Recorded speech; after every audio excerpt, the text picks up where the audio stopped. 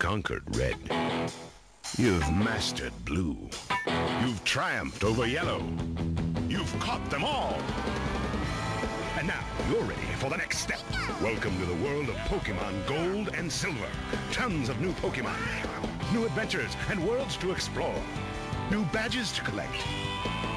So you've got to ask yourself, have you got what it takes? Pokemon Gold and Silver, rated E for everyone. Gotta catch 'em all.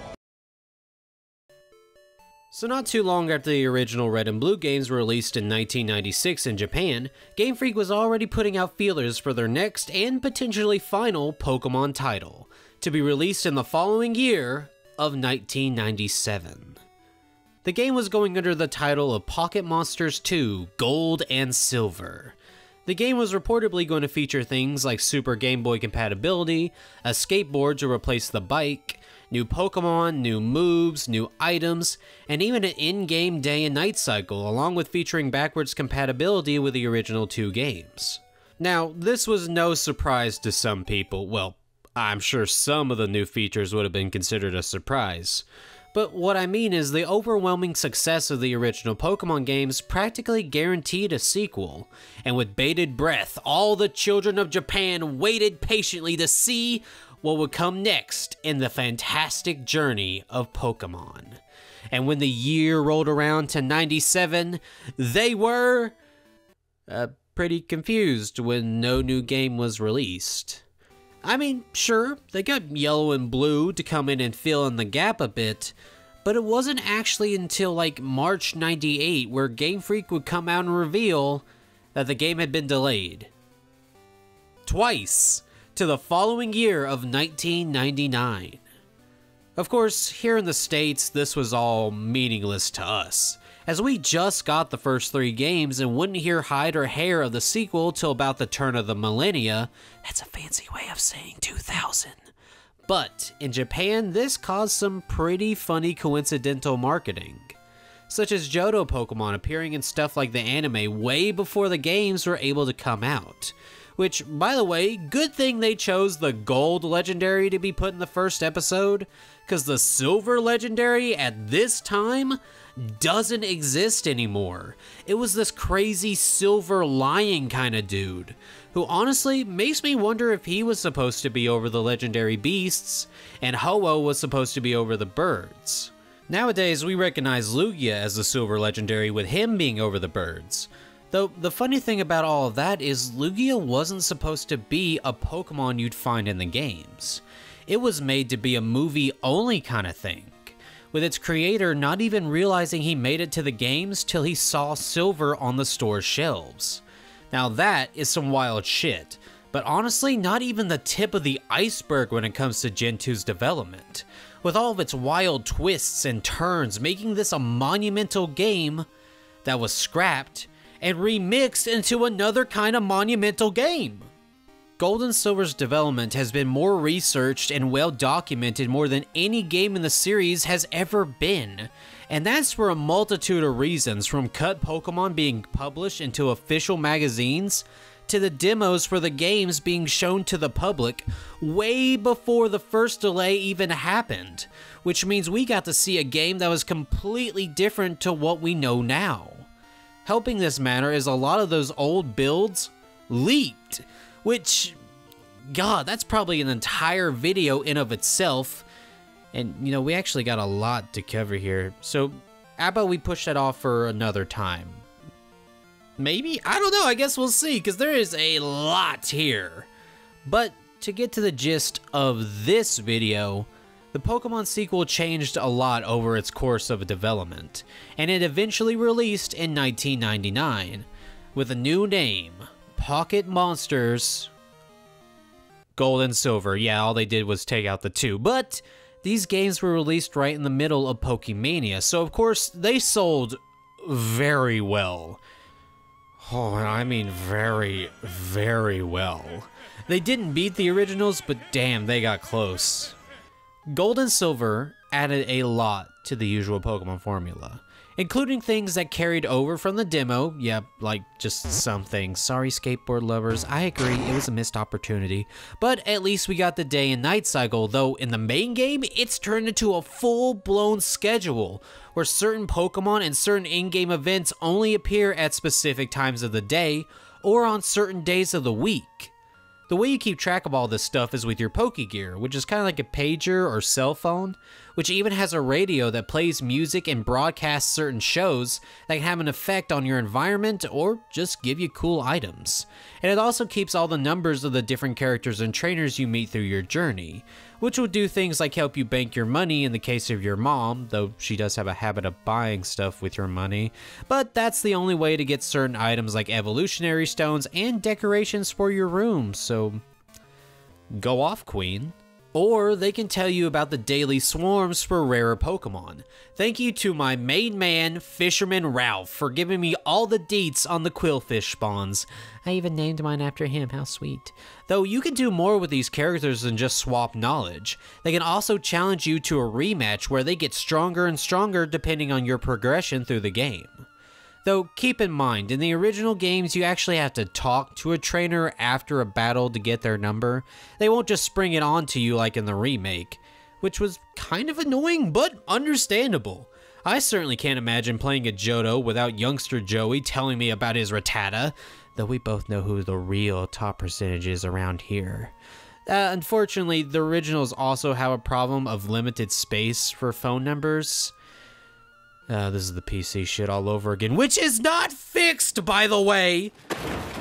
Though, those are just the overworld gameplay changes. In the cases of battles, we got even more! For instance, Pokemon now have genders. Wow, right? How progressive. Or would it have been more progressive if they didn't?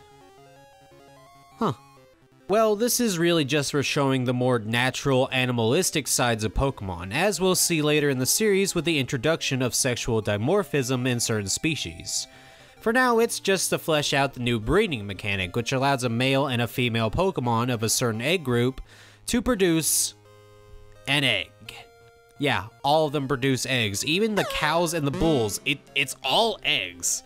If that's too much of a hurdle for you to get over, then I advise you to not delve much deeper into how these egg groups actually work. Seriously, did we really need to have like three separate ones called Water 1, Water 2, and Water 3?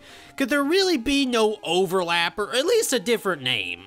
And how do male and genderless only Pokemon like Tauros and Magnemite breed without a Ditto?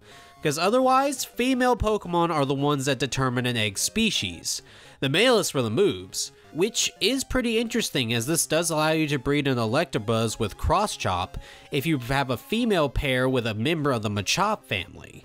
Except it wouldn't actually because this mechanic brought rise to a new genus, or genus? A new genus of Pokemon known as the baby Pokemon pre-evolutions to Pokemon from earlier generations that are also unable to breed, which makes sense, but why only these pre-evos have this condition? It's pretty odd to say the least, and how about we switch topics before I explain Nidoran female's baby form is the only one of that species that can breed. The fuck's with that? Also, legendaries and other, I don't know, let's say unique Pokemon can't breed either. Except for Manaphy, but that's for another time. Hey, wait a minute. Is Nidoran female a different species from Nidoran male? Huh. I mean, I guess, but also no? Why'd they never fix this one? Alongside new pre-evolutions, we also got some new evolutions for older Pokemon as well. Most interestingly being Pokemon like Scyther, Onix, and Eevee getting new evolutions that feature brand new typings. The Dark and Steel types two types added into the game to help balance out the power of both dragon and psychic types, especially psychic types. Dark types are completely immune to psychic moves alongside being super effective to them, and steel type resists psychic damage while also pretty much being the most defensive type in the game.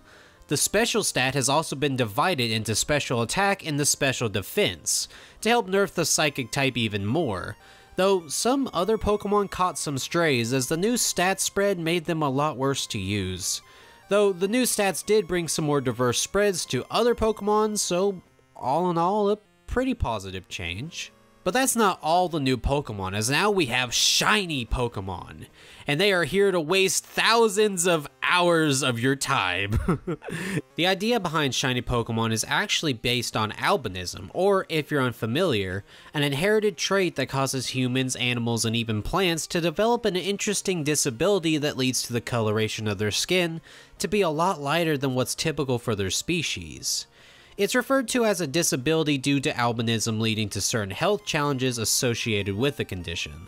Though in humans at least, they are able to live quite normal lives, especially in comparison to animals and plants with albinism, which stick out quite a bit in their environments, which is very dangerous in nature. Unless you're a Pokemon, to which it's actually quite the boost to your overall abilities, at least in Gen 2. You see, shiny Pokemon have a 1 in 8,192 chance of appearing every time you initiate a battle, whether it's a wild encounter or even a static one like legendaries. These Pokemon usually have a different color palette compared to their usual one, though in some cases it's unfortunately undistinguishable. Seriously, between these two, can you tell which is shiny? No? That's because they both are! But fortunately in a lot of cases they do carry an interesting or at least unusual palette which can be fun for bragging rights or your own personal collection. Though in Gen 2 they can actually have higher stats than most Pokemon of their species, but like also according to Bulbapedia they can't have the maximum stats of their species. I can't I really can't find really all that much information on this, but basically in Gen 2 your shiny Sunkern is stronger than most other Sunkern, but not all Sunkern or something like that. Though that's not the only new mechanic that affects stats, as we have Pokerus. Pokerus. Half of you just went, what the fuck is Pokerus? And I don't blame you, as this is way rarer than any type of shiny in the series, with a staggering 1 out of 21,845 chance of appearing. And in my like, what, 15 plus years playing Pokemon, I can only think of like one, maybe two times I've had a Pokemon contract the disease. Okay, so you know influenza, right? The flu? The debilitating disease that we as humans just can't seem to get rid of? Well, in Pokemon, they have Pokerus. And like Pokemon albinism, this shit is actually really, really good, as it allows your Pokemon to earn double the stat boosts and experience gained from battles as long as they don't faint and the battle is won which is really good on one Pokemon. But this shit spreads like wildfire in the PC and the party. It doesn't last forever, only up to like four days if you're lucky, but you can evenly spread the virus around your party and PC to pretty much incubate and breed the virus like it's some sort of fucking umbrella project.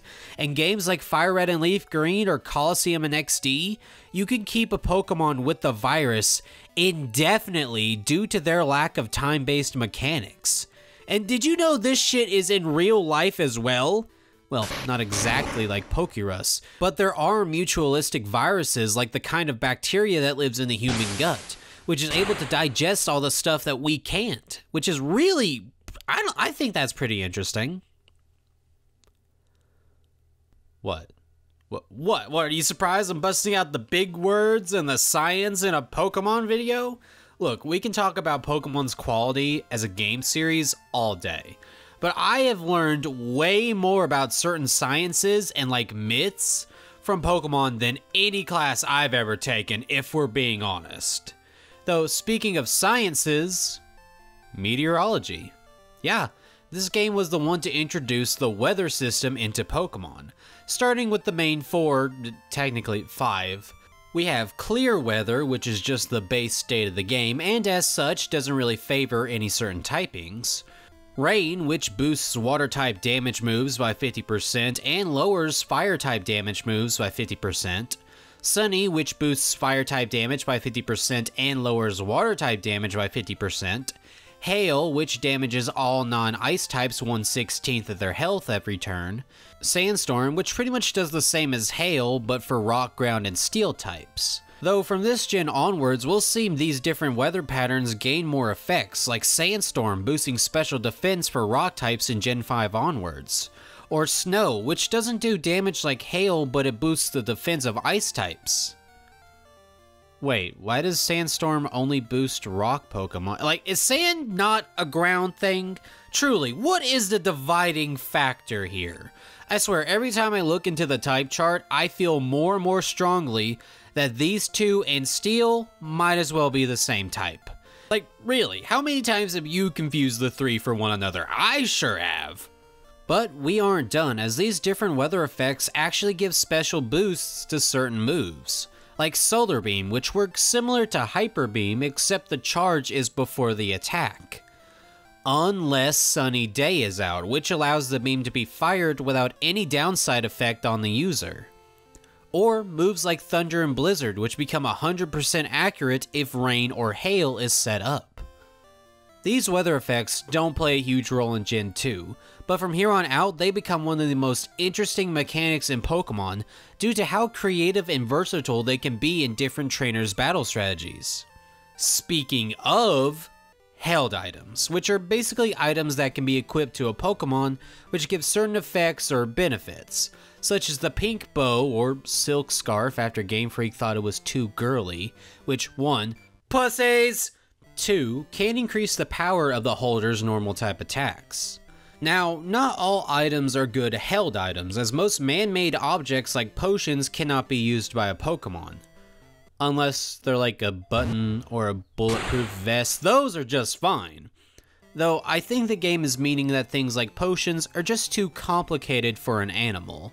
So if you want an item that heals a Pokemon or gets rid of a status affliction, you need food like berries or garbage or what the fuck? And that's where these little trees come in. Uh, at least for the berries. As these can either give you a berry, which can heal a variety of different afflictions, or they can give you an apricorn, which are these weird little colored nuts that you can give to this old guy to develop some specialty Pokeballs. Which is cool when they work as instructed, like the Heavy Ball, which helps you capture heavy Pokemon, or the Friend Ball, which makes a Pokemon friendlier. But a lot of these balls don't work at all in the original games, like the Moon Ball, which is supposed to be good at catching Pokemon who evolve through the Moon Stone. But in the code, it's said to being good at catching Pokemon who evolve through Burn Heal. None of them do that, so it's just a cooler Pokeball. Or the Love Ball, which was made to help catch the Pokemon of the opposite gender. But it actually does the opposite instead. How progressive, though this was designed with breeding in mind, so mm, yeah, it's a dud. And speaking of duds, this bitch. We'll get to her later. Though, segueing from that, kind of. How's the new Pokemon? A lot of the new Johto Pokemon feel like an extension of what they already did in Kanto, just a bit more goofier and colorful, which I think was the correct choice, giving Johto some of its own feel compared to the Kanto Dex, at least in some areas. Alright, look, like the rest of the region, the Johto Dex has this really unique problem. It doesn't really feel like its own thing in some areas. And you know, that's for a variety of reasons. For one, most of the new Pokemon are just flat out unavailable till post game, or like in one specific area, leading to a lot of people to just not encounter things like Slugma or Skarmory to the Gen 3 games, which is why a lot of fans think they're Hoennmons. Or Togepi, whose majority of on screen time was in the Kanto TV series, and it barely is in its own games outside of like one gift egg. Not helping matters is that a large portion of the dex is being tied to Kanto through the evolutions and the pre-evolutions, and most of that is not its fault. Like most of these guys are holdovers from the beta of Kanto, which is why they are technically able to be transferred to the original games. Sort of, it's a MissingNo situation, but still, we can get into, you know, the Johto identity stuff, you know, later, But like a lot of the new Johtomons are kind of ass battle wise. I mean, they're they're a huge reason that every time a new evolution or forms are brought up, Johto is at like the top of the list of new shit needed. And I can't think of a single time where one of them got something new and it didn't immediately turn them into a top tier Pokemon. Maybe do Dunsparce, but that maybe is huge. And what's also huge is that the fact that there are still some Mons in here who desperately need the help. The shit with Sunflora is just unfair. Like, my god, Game Freak has the perfect fire grass type combo design, like, of anything, and they just refuse to do anything with it. Mega, new evolution, a fucking Z form, please! The starters Chikorita, Cyndaquil, Totodile. This is the hardest starter choice for me, bar none. When I was a kid, it was Chikorita all the way. I was a grass starter only man for like a good while. Nowadays, I kinda lean towards Cyndaquil because of this one playthrough of Soul Silver I did, where I kept it a Cyndaquil the whole game, and it was so cute. I love that Pokemon. And then Totodile? He's just fucking cool. It's always a pain for me to choose. Like, what a perfect bunch of starters. Though, man, they are just kind of like plain, you know? Like, the three don't really have anything that makes them crazy unique from other starters. They lack the. They lack the sauce. Y you know what I mean? Like Typhlosion, it's just a better Charizard, right down to the stats being the exact same. But it never got recognition for that. I'll defend Meganium as a wonderful Pokemon, and trust me, we'll get to that later. But it too is just another bulky defense mon like Venusaur. Feraligatr is cool, and his name's kind of funny because they didn't have enough space to spell out Gator, so they just kind of did this bullshit. But like, it's just kind of a decent water type. These guys really need something to spice them up, like a secondary typing or something. Like, Typhlosion was basically the volcano Pokemon till Camerupt came in and took that spot. Also Entei, eh. So, I don't know, maybe lean into that a bit more and give it the ground typing. That would have made a top tier offensive powerhouse. Or do something crazy and make it fire ice. Beta Cyndaquil was an ice type and that combo is extremely unique. Even to this day, modern Pokemon only has one that's that typing, and it's a form change. Plus, this comic about the Typhlosion Sneasel crossbreed, that man, that's so cute. Like, if that was a real Mon, I'd probably cry. I love Meganium as this really fun, pure grass support. But man, would it do its job way better if it had a secondary typing. Like Psychic to go with Reflect and Light Screen, or fucking Dragon, that would have been badass. Or in modern games, Grass Fairy that shit would be untouchable. And Feraligatr has all these caveman themes and martial arts equipment designed into his evolutionary line. Fighting would have fit perfectly for these two. Or Dark, since they use a lot of biting moves already. Or screw it, just give it Dragon. Now that would be some power. I think Hisuian Typhlosion really fits what I mean here. Sure, I don't like it more than regular Typhlosion, but you have to admit, it, it's got the sauce compared to plain Jane over here. I can't think of a better term. I just see these two, and I think to myself, this one has a more bulky design, but he's sauceless compared to this. Not to date the video, but Legend ZA is not out for me yet, so I don't know if they do anything with these two, but I hope it does. I love them. I truly think this is my favorite trio of starters.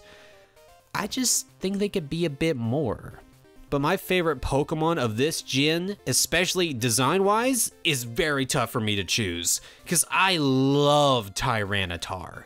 I love me some kaiju like Gojira, and this bitch is just him. But like so much more, I love Tyranitar. I really, really do.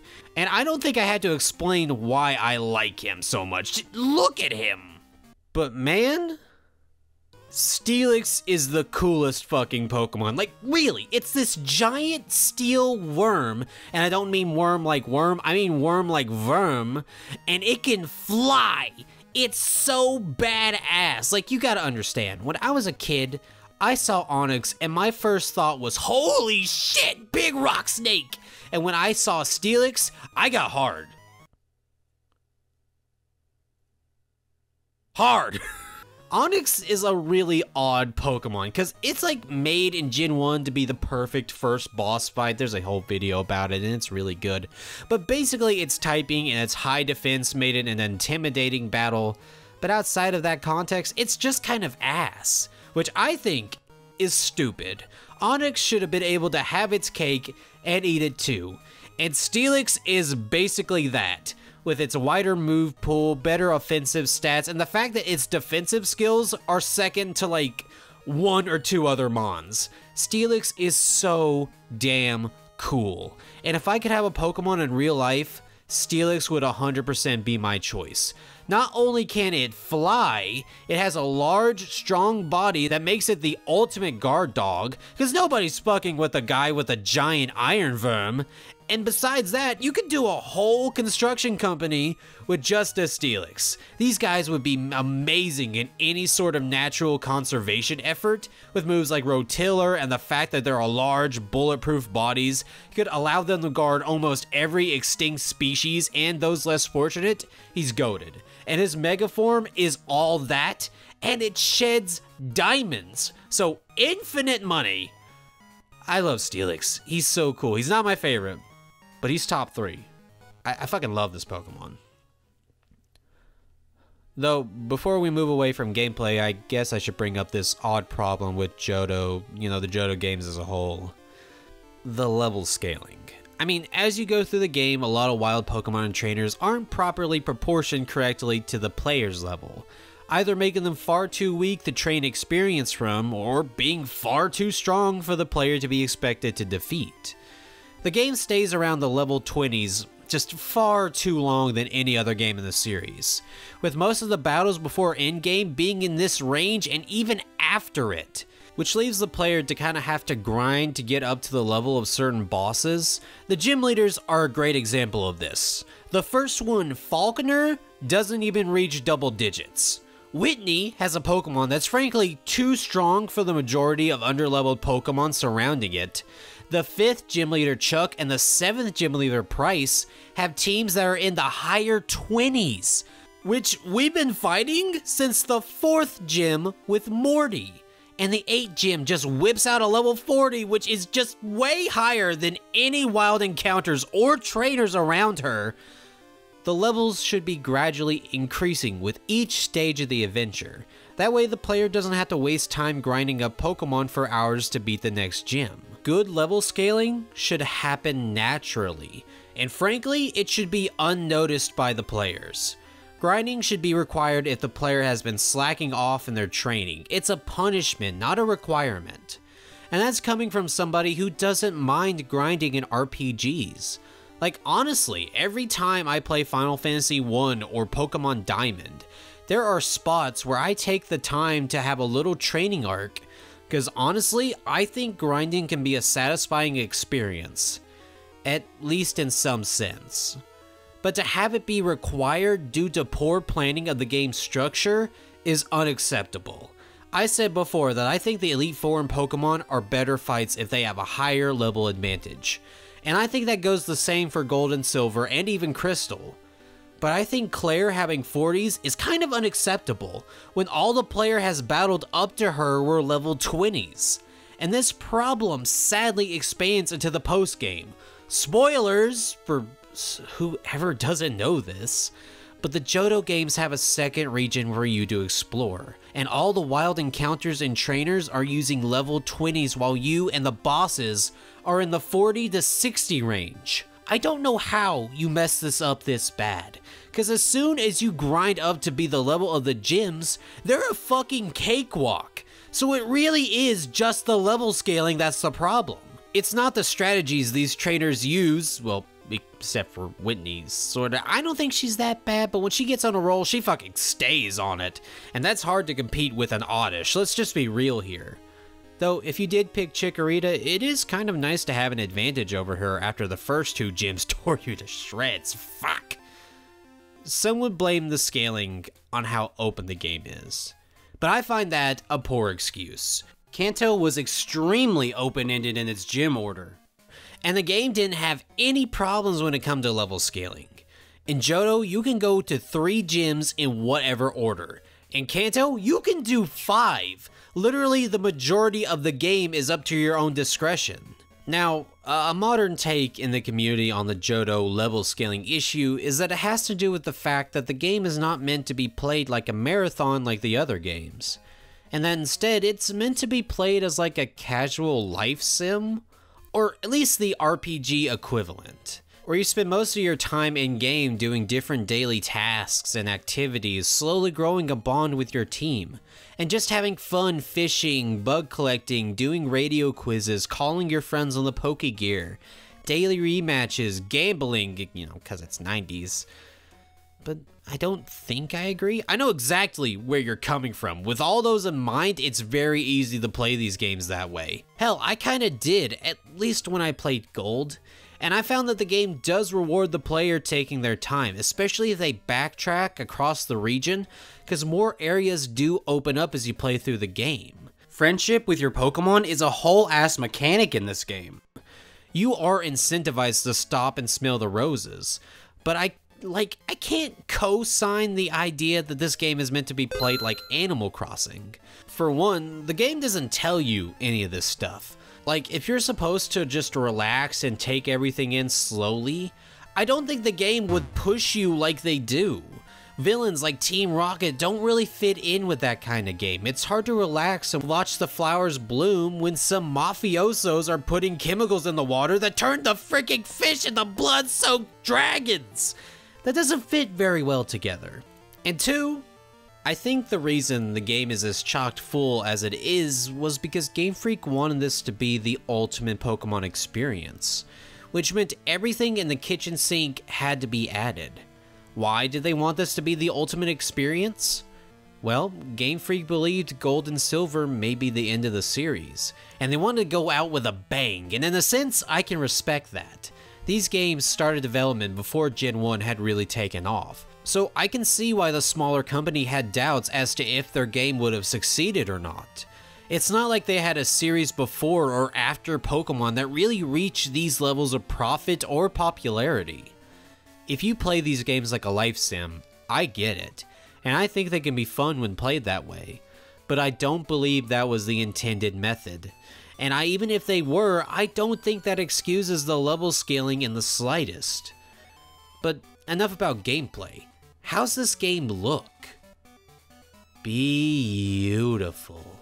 I'm gonna say this right now. If Let's Go is my favorite look, then Gen 2 at least is in my top 3.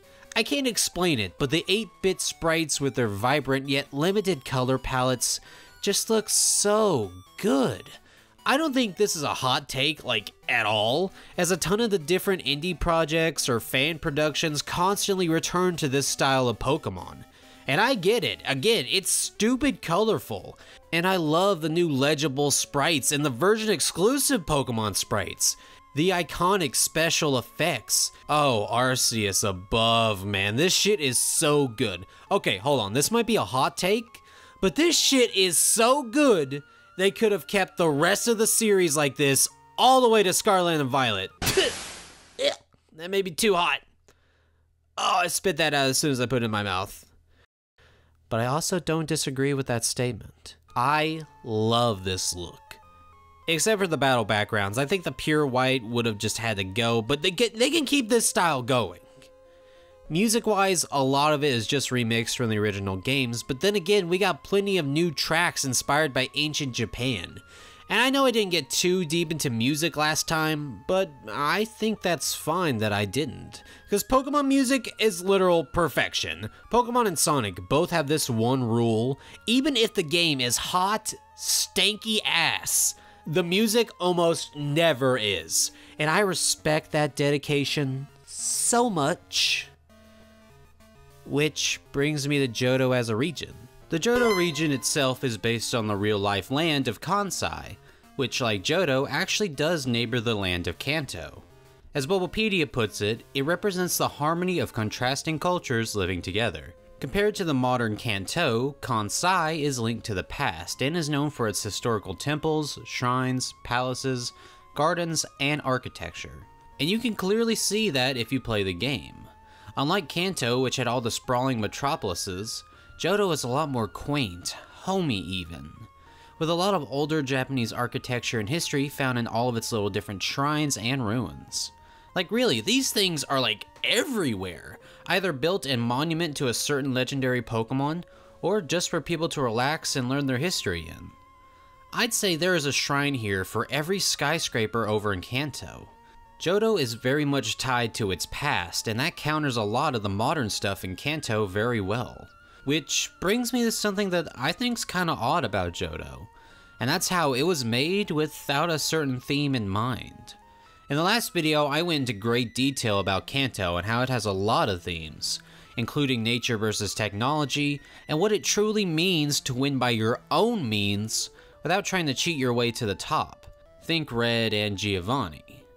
You know, the main thing in your face about the game, the theme? Like, Hoenn has a frankly pretty interesting theme about climate change and what our place is within the ecological balance. Sinnoh has a lot of religious themes to it, Unova is very much about our dreams and the realities that come into conflict with them. Kalos is all about life and death and how trying to disturb that balance between them can cause untold bouts of destruction and misery, even if your intentions are good. Johto? Uh, I mean, Lugia and Ho-Oh, you know, the box art legendaries, kind of work well with the rain and sunny weather but they didn't really focus on that too much, and that kind of went to Groudon and Kyogre in the next games. Well, Johto also added the day and night mechanic, and in certain texts, it says Lugia is like the moon and Ho-Oh is the sun, so... Nah, I don't really feel it either. Uh, oh, maybe it's like yin and yang, light and dark, hot and cold, winter summer, male, female, lizard, bird, monotone color? No? Kinda? Look, a big reason behind this lack of an overarching theme is because of the box art legends. Lugia and Ho-Oh were made by completely different people for two different purposes. They have genuinely nothing to do with one another, but there is at least some sort of theme. Past and future. Really, that's what the devs have theorized, so no, not canon, but this is probably the closest theme if you ever wanted to add one to them. You see, Lugia can get ancient power by level up, and Ho-Oh gets future sight. Lugia represents the monotone past of the series, and Ho-Oh represents a colorful future. One half of the game features more classic styled architecture, the other more modern. And Celebi, the new mythical, is able to travel between the past and future. Hell, when you trade with the old games, you literally use a time machine to do it. But then again, this is also just kind of eh? Again, this does kind of lead me back to a certain problem I had with Johto, but I think we'd probably be better off saving that towards the end of the video. So for now, I'll just say as a region, I do really like Johto, and it's fun to see how it started, or at least inspired a lot of other themes that we'll see later in the series. But with all that, it's time for story. Two years after the original game's journey, we now inhabit the body of a new kid named Gold. A brand new trainer tasked by this game's professor, a man by the name of Elm, who's still a bit salty for not being the one to welcome Gold into the world. But anyway, Elm tasks Gold to run an errand for him, and in exchange, Gold gets to choose one of three starter Pokemon. After doing so, Gold heads out into the world and runs said errand, bringing him in contact with Mr. Pokemon, a self-proclaimed Pokemon fanatic and the self-proclaimed world's leading researcher of Pokemon, Professor Oak. The old men give him a Pokedex and a thank you to pass on to Elm, but before he makes it back to the lab, he's interrupted by an urgent call by the professor, telling him that somebody broke in and stole a Pokemon after we left. We soon meet up with the thief and learn that his name is Silver, but we'll get to him later.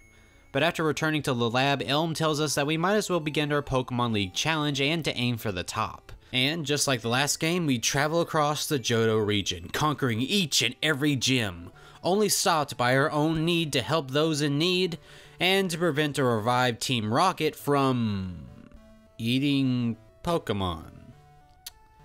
I guess all the regular animals went extinct. Though, to be honest, I could kinda go for a Slowpoke tail. I bet it tastes like Canadian bacon, which, if you haven't had it, it's pretty much just an unsalted ham. Which, I know, kinda sounds gross, but you can cook it pretty well. What are we talking about? Oh, right, we're here to prevent a revived Team Rocket from taking over the region. Luckily for us, though, we don't have to do it on our own, as the Elite Four member Turton Champion Lance has come to aid us on our Jesus! Fuck, dude! A little much, don't you think? Just hyper beam man at point blank. Kinda wish I could do that to someone in particular. But we follow Lance into the depths of the Rocket base, coming across the new ringleaders of the Team Rocket organization. A bunch of nameless admins. We'll get their names later in the series, but for now, they're just a bunch of basic bitches who have this master plan of bringing back Giovanni by sending him a message while also controlling the minds of all the region's Pokemon through the power of radio waves. Ooh. Sure, the message I get, but the mind control part, I, I, don't know. Even their little test at the Lake of Rage didn't really control the Magikarp. It kind of just pissed them off, so I'm not really sure if this radio plan would have worked. And on the Giovanni end, the old boss just completely ignores the call to action due to him still being off training like he promised Red. So, um, yeah, this plan's kind of moot. But the Neo Rockets are dedicated, so they stick to their master plan and Gold sticks it to them, ruining their operation. And as a reward, the director of the radio tower hands us a wing depending on our version, which grants us access to the box art legendary, which in our case is Ho-Oh. Though that's not the only legendary we're able to capture, as the new legendary trio is here to cause a lot of headaches. The legendary beasts.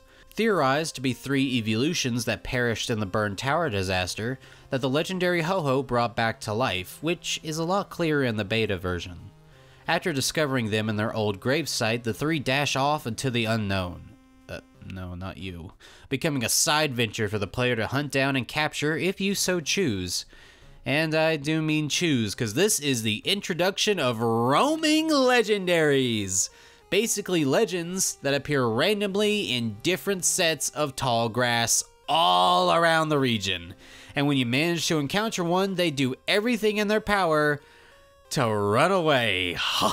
Oh, more safaris, Zone shit. Honestly, it's a fine gimmick, especially if it's in the later games where tracking them is a lot easier.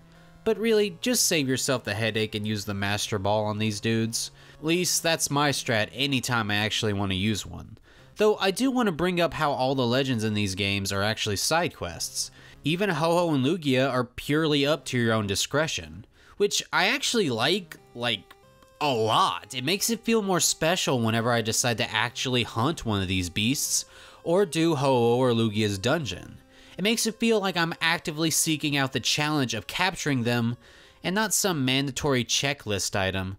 Oh, we can get to that later. For now, it's time for us to head to the City of Dragons, where we have to battle the final gym leader, Clair who's supposedly Lance's younger cousin who's so strong she can hold her own with the Elite Four.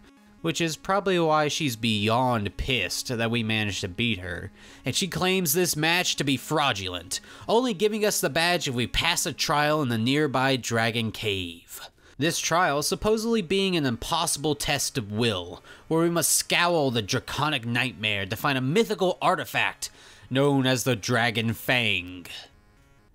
It was just lying on a rock behind like one whirlpool in a region where there's a whole HM designed to deal with whirlpool. I can't believe you were able to actually, girl, please. I can see why this was replaced with a quiz in the revisions. This right here is just embarrassing. Though the quiz isn't really that hard either, as there's really no way to fail. And no matter what, you get a little dragon friend for your troubles. Though if you answer kindly, the dragon can go light speed, which is pretty cool. With the last badge down, we can head back home to check on Mom and the Professor before heading on to the Pokemon League. But on the way, we are informed that the new route we surfed to is actually in the Kanto region. That's right, we are back to Kanto from last time, with Johto and Kanto apparently sharing an Elite Four in Champion. Though we could probably guess that due to us meeting Champion Lance earlier. With that, we head through Victory Road, this time with no Moltres, but we do get to see this asshole. After that, we finally make it to the Pokemon League, where we meet the new Indigo Elite. Will, a trainer who specializes in psychic type Pokemon. Though you wouldn't be able to tell that from his room, I guess he didn't have enough time to change things once Lorelei left. Though that does actually bring me to something. A lot of people actually believe there to be a connection between Lorelei and Will. Due to their hair color, Pokemon choice, and the fact they both represent the first challenge of the Indigo League, some believe that Will is actually a post-transition Lorelei, which is an interesting theory, and technically it does have evidence in the, well, I'd say text, but I guess code is more correct, as Will is referred to as female in the trainer data while also going by he-him pronouns. Though that variable is only there to decide the gender of a trainer's Pokemon, and we can see this with other trainers like Bugsy and Saturn, two characters who have also had odd bouts about their gender.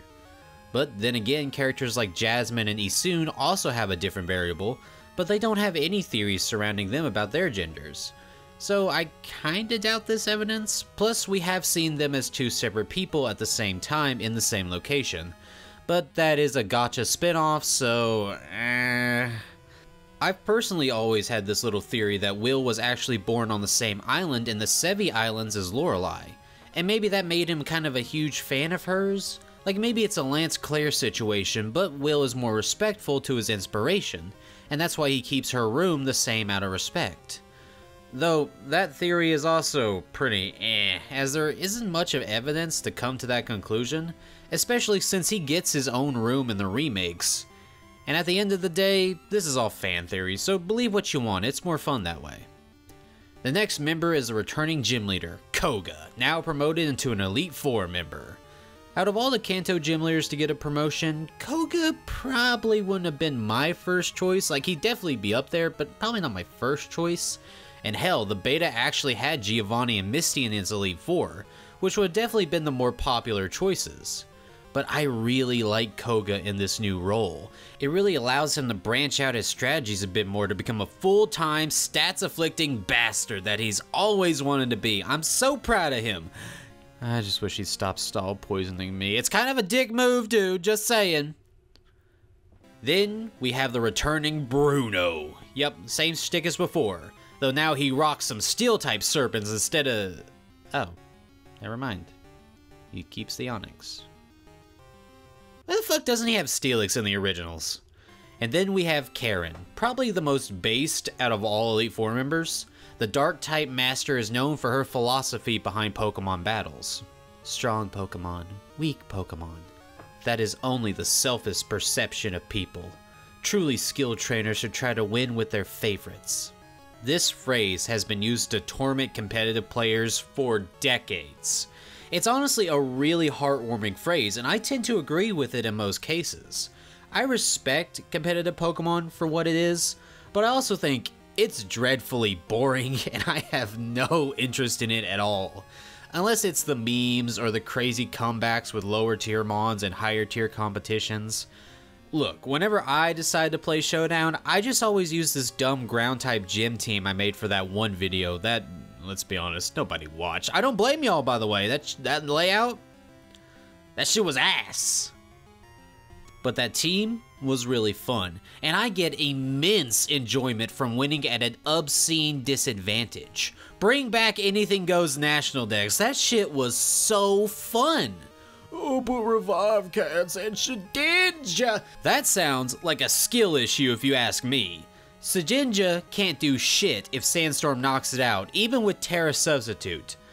But enough of the grievances about a highly specific yet extremely fun and cool game mode.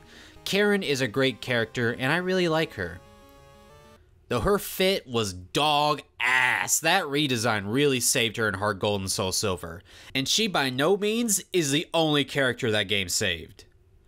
Then we get to Lance, where we see his strategy is cheating in underleveled pseudo legends and hyper beam spam.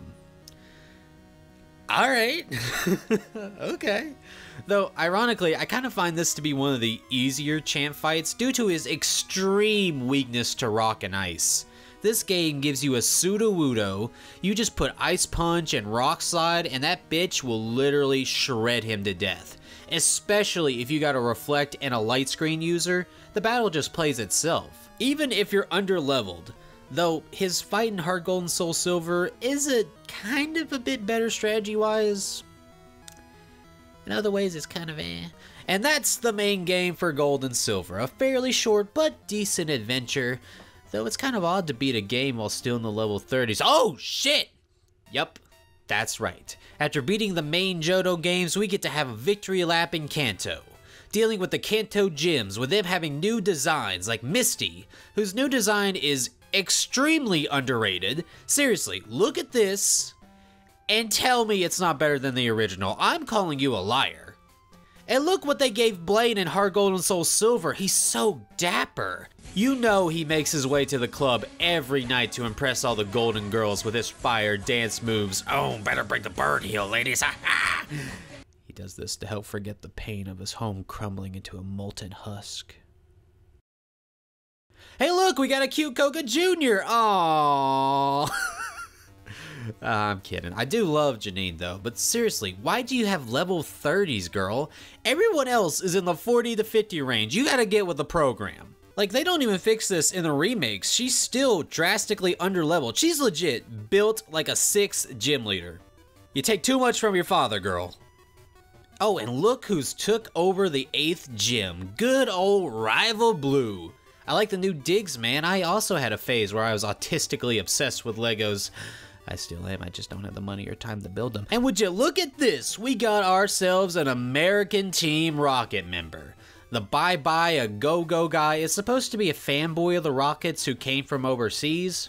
And in black and white, we actually find out he's Unovan. which leads me to wonder is his accent supposed to be a southern drawled Watashi wa type accent?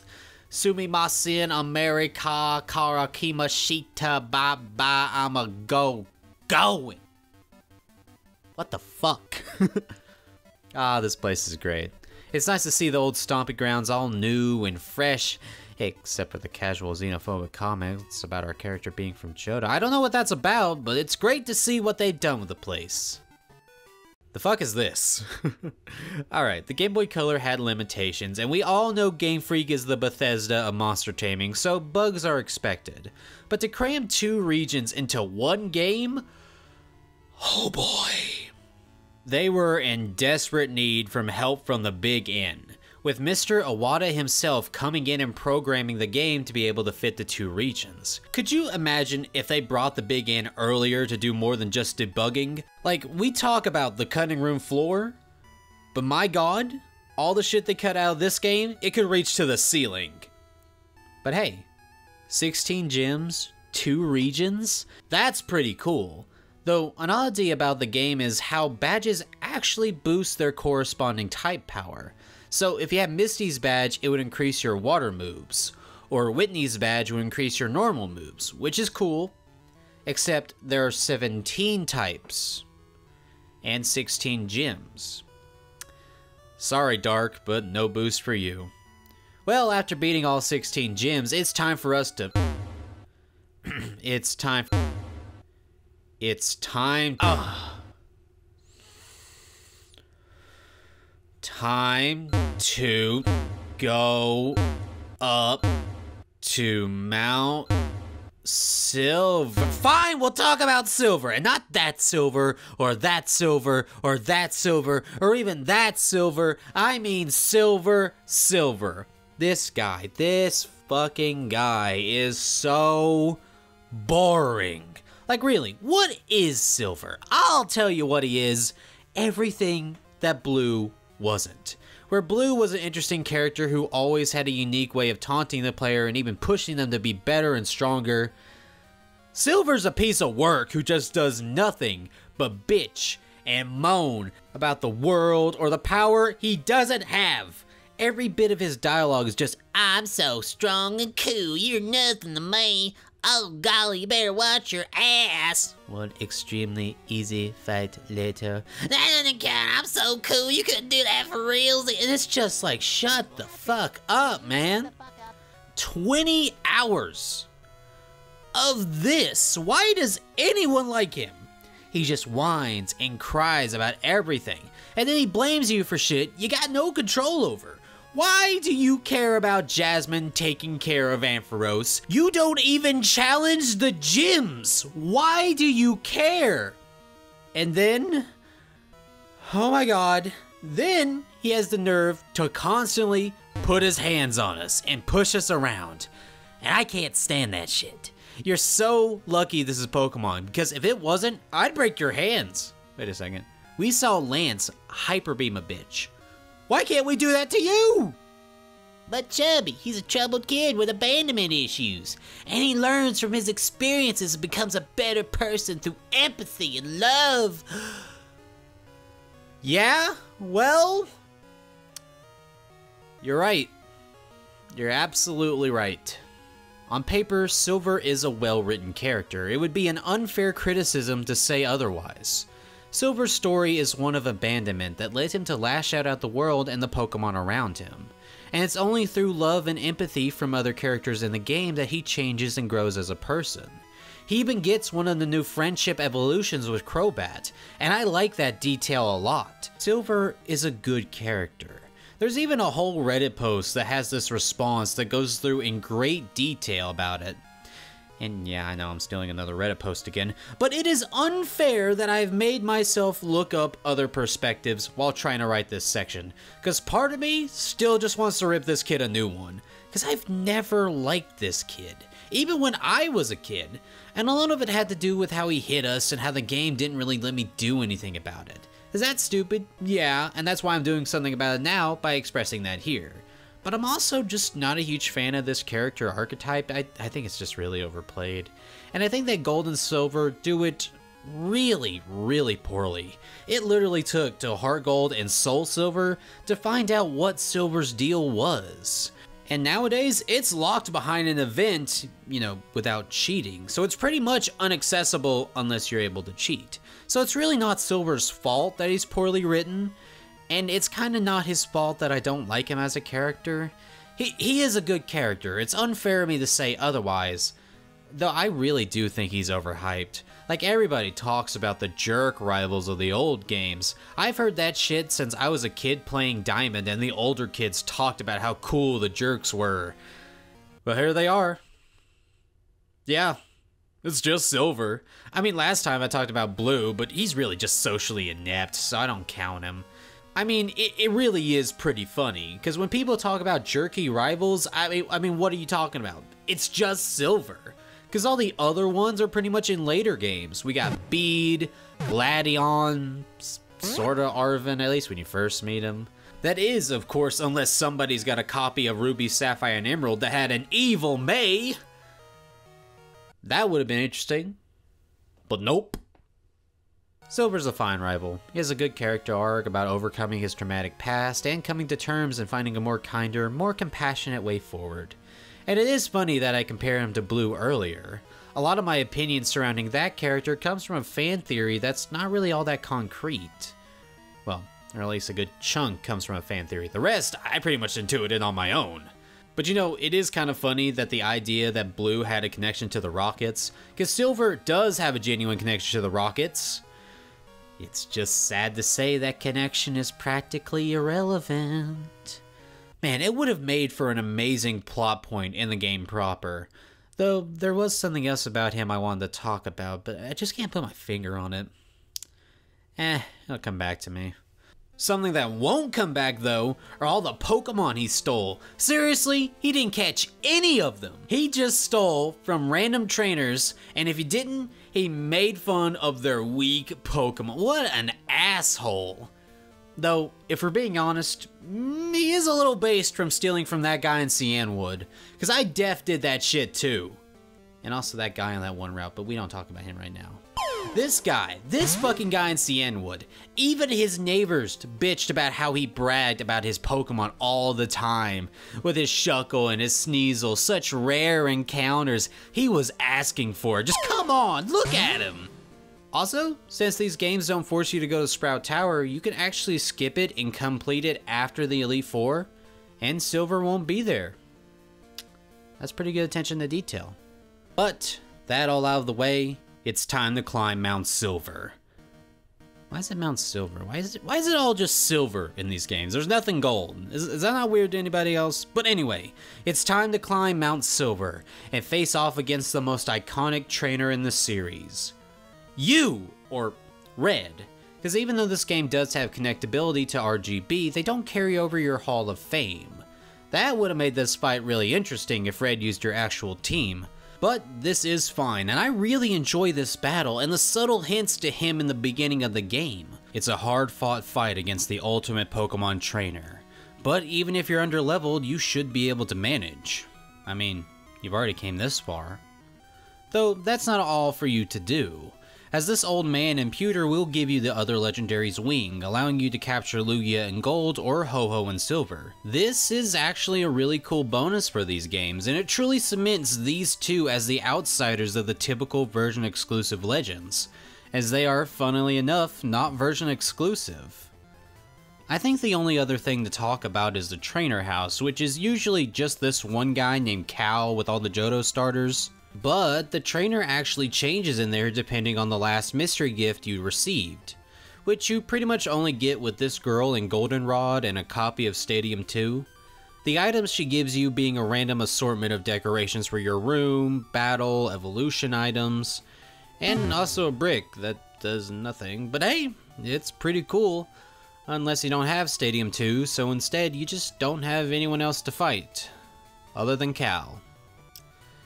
And let's be honest, he's just kind of boring. And that's Gold and Silver, games that were made to be the ultimate Pokemon experience. And if it isn't yours, well, it at least probably set the groundwork for it.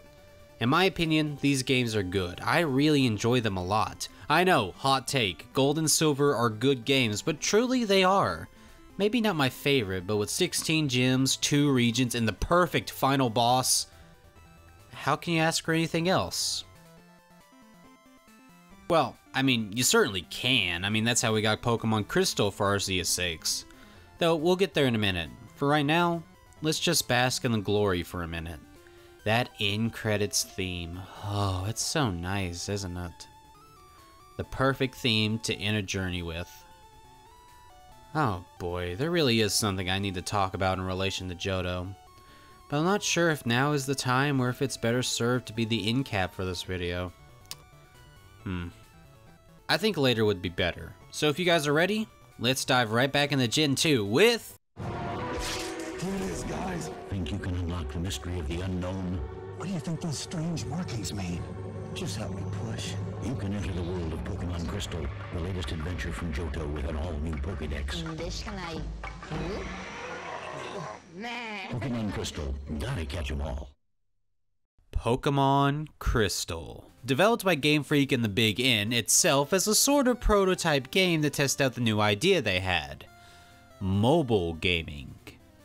Well, kinda. You see, Pokemon Crystal was announced as Space World 2000, under the working title Pokemon X, alongside a peripheral known as the Mobile Game Boy Adapter, which allowed the handheld to connect to Japanese cell phones, in turn allowing Game Boy games to connect wirelessly to other games using this feature. That's even where Crystal actually gets its name from, the crystals in cell phones that allowed them to connect to each other wirelessly. Alongside this peripheral, there would be a new paid online service called Mobile System GB, whose big claim to fame was its ability to allow trainers in Pokemon Crystal to battle each other wirelessly through its own server as well as sending event items, trainers, and Pokemon to players of Pokemon Crystal, all through the new communication center in Goldenrod. Though all of this wasn't free, however, certain event items and trainer battles were locked behind a paywall on top of the fee for using the system. Of course, this being Nintendo and a neat little peripheral, this service never left the region of Japan due to how complicated it would have been to get the service to work with non Japanese cell phone services and, you know, in turn, non Japanese cell phones. With IGN writing in their report on the project, billing and popularity of cell phones are very different in Japan than they are in America, and the Japanese market is designed specifically for devices such as this. It might not be practical for Nintendo to release the device here, and it's questionable whether enough young gamers would even have a cell phone to use it with. The Big N keeping it in the home region may have been for the best, as this service was shut down hardly a year after its release due to its failure to really take off, leaving a lot of the exclusive features it brought to Pokemon X, now known as Pokemon Crystal, dead in its wake such as the GS Ball, a special event item that allowed the player to capture the mythical Pokemon Celebi. Game Freak tried to implement this item in the cartridge itself for the worldwide release, but that unfortunately didn't work out. Similarly to how the Pokemon anime famously had the GS Ball be a huge plot point, only to drop it hard after an unsatisfying conclusion. Though thankfully this was rectified in the eShop release of Gen 2, except that it's not now, because now they're unavailable. Eh, at least they tried. Now, with this in mind, you'd think that mystery gifts as a whole would be scrapped as a concept, due to their either boring implementation or the fact that their limited time status kept future and returning players from experiencing them. But no, fuck you, it's gone, and they'll keep doing this all the way to present day, where it's a necessary requirement for plot lines. Oh boy, I hate this stuff. But we've been there, done that. What about the rest of the game? Well, Crystal actually introduces a lot of mainstay features that'll stick around for the rest of the series, such as the ability to choose the player's gender between male and female. How progressive for 2000, but then again, this is credited for being a huge step forward for having more gender options in games, so yeah, it actually was. We also have a new post-game battle facility in the Battle Tower. It's quite lackluster from its later incarnations, but it is great if you get tired of rebattling Cal once a day. And lucky us outsiders, we are able to challenge the tower whenever we want, unlike the Japanese release that had it tied to the phone stuff, making it inaccessible after the service went offline. Oh, they didn't think that shit through at all, did they? Some new gameplay changes were added around the region, including wild Pokemon spawns, such as how Blue and Yellow reworked their original games, though in Crystal's case, this was done to make some rare mons more available, and also have some better type distribution around in the early game. Also, if you have a Game Boy printer, you're able to print out stickers of your Pokemon, which is pretty neat. And you could also do something like that in Gold and Silver and Yellow, so uh, please forgive me for not mentioning that before. There are some miscellaneous changes, such as how you go about getting certain items, and a new gift Pokemon in the Odd Egg, and we got animated intro sprites, that's kinda cool. But otherwise, Crystal, like Yellow and Blue before it, is essentially a director's cut or deluxe version of the originals. Though that Suicune on the cover isn't just for show, as we actually got some plot changes which now surround the Water Beast. Yeah, I say beasts. There's always a discussion about whether these things are cats or dogs, similar to what's going on with the evolutions, but officially they're known as beasts, which I think works better as a descriptor as they take multiple traits from a variety of animals, such as prehistoric mammals, the bigger cats, large canines. But anyway, in this version of the story, the main character, in our case, Crystal, though you may refer to her as Chris, is forced to head into the Twin Tower. Whoa! Okay, that's an unfortunate slip of the tongue. Though not entirely inaccurate. Strange that these came out in 2001, huh? Weird. Play that little weird X Files you know what I'm talking about? Fuck, what am I talking about? Well, anyway, she heads into the burned tower due to Morty investigating the site with a friend of his named Eusine an important character for this new storyline. Also, Silver is here to bitch about us being susceptible to gravity. Always a pleasure! Well, after coming to, Crystal is face to face with the beasts, with them running away, except for Suicune who takes a second to size us up, before then following suit. With Eusine coming in and basically acting like Kieran but for the older gens. He's a man who's straight up obsessed with the beast of water and mist so much that he changed his name to be an anagram of Suicune, but it still chose me. And he's like, What do you have that I don't? And you know what? I agree. What do I have that Eusine doesn't? Like, me and Suicune locked eyes once, and now she's obsessed with me? Hanging around the different nooks and crannies of the Johto region with her best makeup on, hoping I catch a glimpse and speak to her. I know he's a simp, Suicune, but at least Eusine actually wants you. Though, maybe you're interested due to Crystal being the one to defeat Team Rocket. You know, the people who could have used actual development as characters instead of Mystery Man over here. Also, if you want to catch Ho-Oh and Crystal, you had to catch all the three beasts first, which isn't too bad with Suicune being a static encounter, but the other two are still roaming, so uh, good luck. Thankfully, my man Lugia is always there when I need him. Or is Lugia supposed to be female? I, I don't remember that interview too well. But speaking of strange stuff, the ruins of Alph now have a strange message in them if you solve all the puzzles leading to the reveal of what may have happened to its ancient creators. Neat. Doesn't have anything to do with Suicune like the intro would suggest, but okay, cool. I guess the only other story thing going on is the new Clair stuff where we have to take the quiz instead of finding the Fang. Though this did allow me to meet the heads of their little clan, where they tell me that you need to pass the test in order to use dragons. Shh, I'm pretty sure you don't. And I know that for sure because for some reason Clair, you know, the big gym leader of your clan, she gets to use them and she's failed the test multiple times. I really don't know how, since it's pretty much unfailable, but she found a way, which means this place is filled with gatekeeping and favoritism for a certain family. This is the, the Dragon Clan is just a cult. All right, I, I can't remember if there's anything more to do with them when we get to like Iris in black and white, but like until then, for what we know right now, put a stamp on it. Cult, certified cult. And that's Pokemon Crystal! Yay! it adds a lot to base Gold and Silver while also distributing the Pokemon around a lot more to give us a wider variety to use. I think this is one of the cases where the Deluxe Edition is probably the best overall experience for a generation, which is a lot better than what happened with Gen 1. If you're curious about heading into Gen 2 Johto, which I do highly recommend, I think this is the best way to go. Though, if you're wondering what the best Johto experience overall is... Ah, come on, you already know what's coming. I play Pokemon Heart Gold version. I play Pokemon Soul Silver version. I collect Pokemon, trade them, and engage in heated battle. Mostly he loses, like now. And when I'm not playing, I have my Pokewalker on me. I use mine to find items I can use in the game. I can also catch Pokemon and connect with friends or my brother. I use mine when I run to earn lots.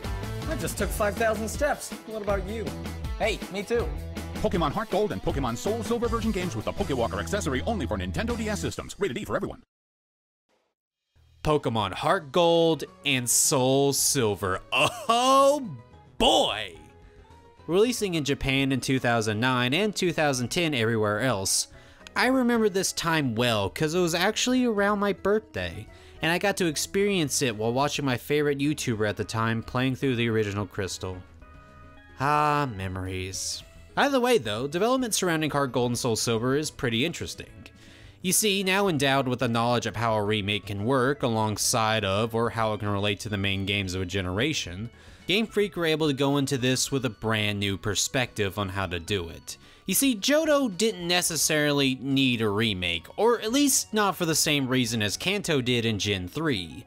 A majority of the dex was already obtainable in Gen 4 with the release of Pokemon Platinum, and many stragglers could have been easily transferred up from the Generation 3 games. No, no, there was no real need to remake Johto. But they really wanted to, and the heart behind this project was a man known as Takao Unno. Though by no means was he the sole piece of this game's passion. All of Game Freak was down the clown to make this game the best they could, I just bring Unno up because of how thematically interesting he is in comparison to the development surrounding this game. You see, Game Freak wanted to make the ultimate Pokemon experience. They were never fully satisfied by Gold, Silver, and Crystal, with Tajiri going as far to say that he felt that the perfect game was right around the corner when asked about Gold, Silver, and Crystal, and he thought that the kids playing those games now would probably become developers later, and they would probably be the ones to expand the Pokemon world by working at Game Freak later. And Apollo must have been gifting his prophecy that day, because these games are what led a young Takao Unno to become a video game artist. And guess where he worked? That's right, 10 years later, he worked at Game Freak and got to work on the art for Heart Gold and Soul Silver. Don't you just like when shit lines up like that? It's really satisfying, isn't it? Unlike Fire Red and Leaf Green, which only took about one year of development, Heart Gold and Soul Silver actually took around three, as Game Freak really aimed to really remake the experience of the spirit of the old games, while also being something brand new, which apparently made the whole process a very rewarding challenge for them. When asked about the differences between the originals and the remakes, director Morimoto said, with Heart Gold and Soul Silver, the way in which trainers and Pokemon relate has become a major theme, and this has been added to the story. We came up with the titles Heart Gold and Soul Silver as we decided these would be appropriate to express this theme. And that very theme came to light with the new game mechanics added for this game, including the ability to walk with every one of your Pokemon in the overworld, this was a feature way back in Yellow with the starter Pikachu, and the Sinnoh games with certain Pokemon in Amity Square. But here and now, it's every Pokemon, and each and every one of them can draw from a pool of reactions to all of the happenings of the outside world and the players themselves, making them feel like they're actually living, breathing partners in our adventure. To say that this is one of the best features they've ever come up with is a giant understatement. After these games, it is practically the most requested feature of any game that comes out without it. Pokemon is all about the bonds between the player and the monsters. This feature brings that to the forefront better than any other attempt that tries to replace or supplement it. And it doesn't stop there. You can take your Pokemon on the go alongside you with this new peripheral, the Pokewalker a small pedometer that allows you to transfer a Pokemon from the games to this cute little Pokeball to walk around with to gain experience, collect items, battle, and capture exclusive wild Pokemon. The idea from this actually came from a few places, including the Pocket Pikachu, a small device released during the in-betweens of Gen 1 and 2 that was able to let you walk around with a little Pikachu all Tamagotchi style and it actually had a sequel that went on to be compatible with gold and silver. You remember that mystery gift stuff I mentioned before? Yeah, you could use this for that too. Though, again, kind of odd that the mystery gift is tied to all this stuff you probably don't have. But hey, it's cool! And between that and a story about Ishihara dropping a DS pedometer in a puddle, and then becoming in awe as it still worked when he found it a month later in that same puddle which all led to the Pokewalker's development. Which, by the way, this thing isn't just a fun little peripheral. It was actually awarded the most accurate pedometer for its time by an Iowa State professor, which is rad as fuck. But the cherry on top of all of this, you get to take pictures with your Pokemon and have an album chronicling your whole adventure. Why is this not a main feature? I mean, it's kind of an X and Y, sorta. But like, it's not like this. This is so cool. I love it so much. The game also featured all the additions added from Gen 3 and Gen 4, including abilities, sexual dimorphism, Pokeball seals, though you need to feed this fat ass cow a bunch of berries to get them. But that's not that bad because you have a personal portable berry farm in your pocket, and you won't believe this, but online play without a cell phone. It's even got a Battle Tower successor and the Battle Frontier, which was brought over from Pokemon Platinum. alongside an expanded roster of Pokemon, including ones that the originals didn't have without transferring from Red through Yellow, Heart Gold and Soul Silver have been widely considered the most content packed Pokemon game ever created. And we haven't even discussed the rest of the stuff it came up with, such as the Pokeathlon, basically the Pokemon Olympics that features the twin brother of Primo from Fire Red and Leaf Green, who's also back and he actually gives you some neat knickknacks in the Violet City Pokemon Center, which is pretty cool. And this Wulfric looking dude who's uh, kind of just here. I mean, he is the head of the place, and when you get the National Dex, you're able to enter the Supreme Cups, where you're able to go up against him, the Johto gym leaders, and other characters such as Maylene, who's visiting from Sinnoh, alongside the main man himself, Crasher Wake! Though he's just uh, sightseeing at the mall. The Pokeathlon is actually a really fun side mode with all the different events, which is just kind of makes my hand hurt, but otherwise they are really fun. And your Pokemon even have stats that are exclusive to this mode, making it kind of like contests in a sense. It's really too bad this mode just never came back, it really is a lot of fun. It can even be played with your friends through multiplayer. Though be prepared for some tough opponents, even the likes of the gods can't handle a Togepi in its prime, Jesus.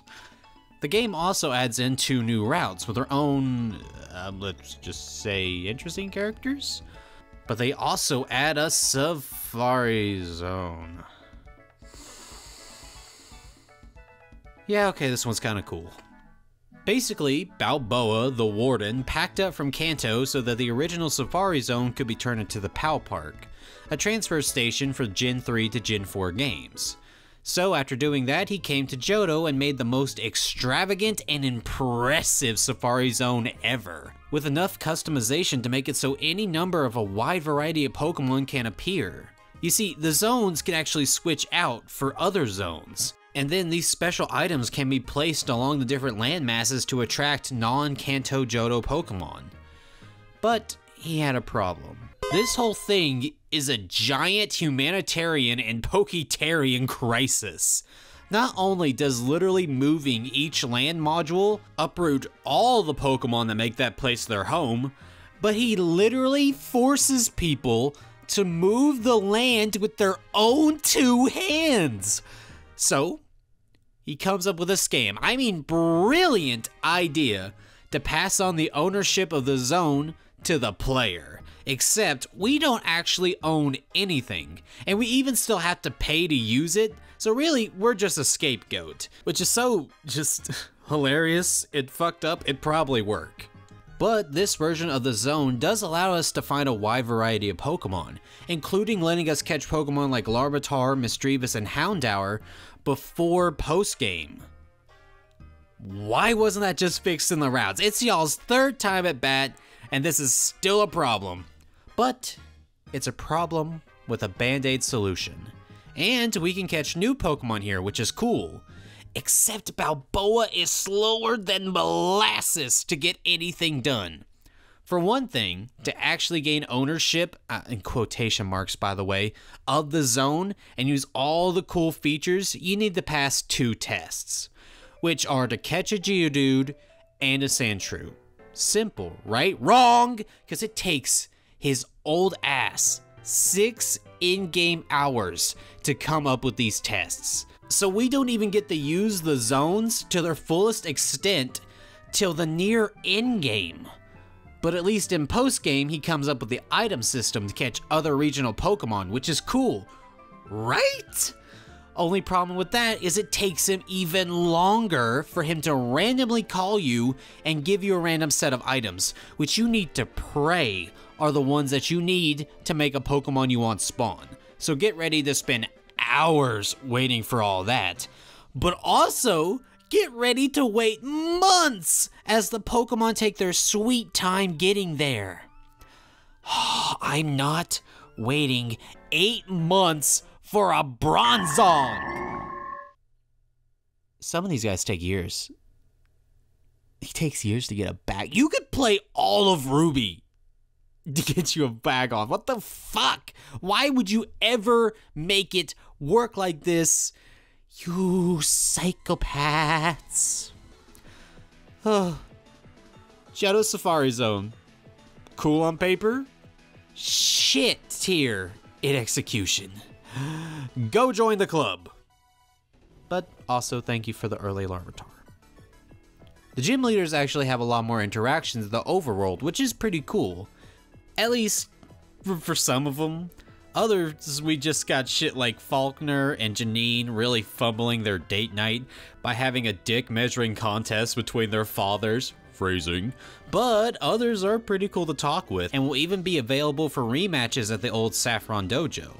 They also now give you TMs when you beat them, and Blaine gets a new gym, which is super cool. But Janine is still far too weak, and the gyms don't have full teams, which just kind of eh. But the rematch teams they use are really cool, and some of them will offer to trade Pokemon with you, which is also really cool. Though this is actually kind of funny, as Jasmine tries to give you a Steelix named Rusty, which if you play Diamond, Pearl, and Platinum, you know that she used that Steelix in contests. And since Heart Gold and Soul Silver and Diamond and Pearl take place at the same time, that means she lost in those contests in Sinnoh and is now trying to give her Steelix away in disgust, which is brutal. She'll literally take any Pokemon for it. But to be honest, I kind of get it. After these rejects lost the Pokeathlon, so you know what? Fair trade in my book. Failure for failure. Just make sure you watch out for Daisy Oak, though. The only way to get her brother's number is to have tea with her from 3 p.m. to 4 p.m. sharp for a week straight. And Daisy doesn't fuck around about tea time either. If you come too early or you're too late, you ain't getting her brother's digits. This is her tea time, and nobody messes with her tea time. She is the granddaughter of Professor Oak, older sister to ex champion Blue, and a well awarded contest coordinator in her own right. The world may be your oyster, but Pallet Town is her kingdom, and we will all bow to her busy schedule. Jesus! Blue's rematch is pretty cool though, as it calls back to his Fire Red Leaf Green rematch. But damn, woman, really? At least have more than chamomile. Like, really, you don't have like any southern sweet tea in this bitch? Come on. The Elite Four also get some really strong rematch teams, as any set of trainers are if a Garchomp is anywhere near the vicinity. But I kinda miss the mixed types used by Koga and Karen, though again, Karen's new fit is immaculate, and Toxicroak, Skuntank, and Swalot on Koga goes unbelievably hard. But I'm kinda sad about Red's new team. Not the level 80s, that's fine, and from a canonical standpoint, uh, that may be my karma coming back to bite me. But he traded in his Espeon for a Lapras, which is so boring. I mean, yeah, they're both gift Pokemon in the originals, so I mean, in that regard, they work. But the Espeon had so much more storytelling to it, as it was one of the few Pokemon available to him that had a Johto evolution. And I think that works really well as it shows how he continued to grow as a trainer after we left him in Gen 1. He wasn't just wasting time away on a mountain, he kept training, kept adventuring, kept growing. And I like to think that all of these protagonists do that when our time with them is done. Espeon represents that, and if you ever have the time, go look at his teams in Stadium 2. I love the variety. Though, speaking of variety, and this may make my point a bit mute, or moot, whichever word, but how cool would it have been for him to use your Hall of Fame team from Fire Red and Leaf Green? Or at least let Leaf be an optional fight on Mount Silver if you beat Leaf Green or Fire Red as a girl. That would have been really cool. Oh, speaking of the phone, it doesn't really stop you where you are anymore. As long as it's not story important, you can just ignore it or at least try, that ringing can be a major annoyance, but these could be rematches or free items, so, you know, talk to your mom once in a while. Don't be an asshole like Red over here. Though maybe she could ease up on spending my money for shit she clearly doesn't want or need. Hold on. Is this an excuse to give the player gifts? To my knowledge, the stuff she buys doesn't actually come out of your bank account. Oh my god, is this her way of thanking us for trusting her to act as our personal bank? Is trainers leaving their parents behind such an issue? Our mom made up a bank system to keep us around? Oh, that's so fucking sad. The visuals of this game are wonderful. It's a step up from the style of Gen 4 with a mix of 3D models and 2D sprites, which can look a bit jarring in one or two places, but otherwise is seamless. And the color palette is so bright and colorful. The Generation 4 style is really quite good if you ask me, though I won't lie, there might be a little bias in me saying that. But I don't know, I feel like the pixel art and the models in these games really hold up, and that's almost two decades later. And when we get to Gen 5, oh boy, it's pretty much that sentiment, but doubled. The DS era just looks so good. And the redesigns for the gym leaders, I already mentioned Blaine and Karen before, but look at everyone else, they're so stylish, including all their new gym layouts. Oh, yeah. Even the main characters got a redesign. Well, you know, sort of technically. This isn't Chris, as they kind of forgot she existed till after Lyra here was already made. But it is funny that they kept the twin ponytail thing. And the next part, it's a tad superfluous, you know, but the constant run button on the bottom screen, alongside the key items and just an A button, it's just a real quality of life thing.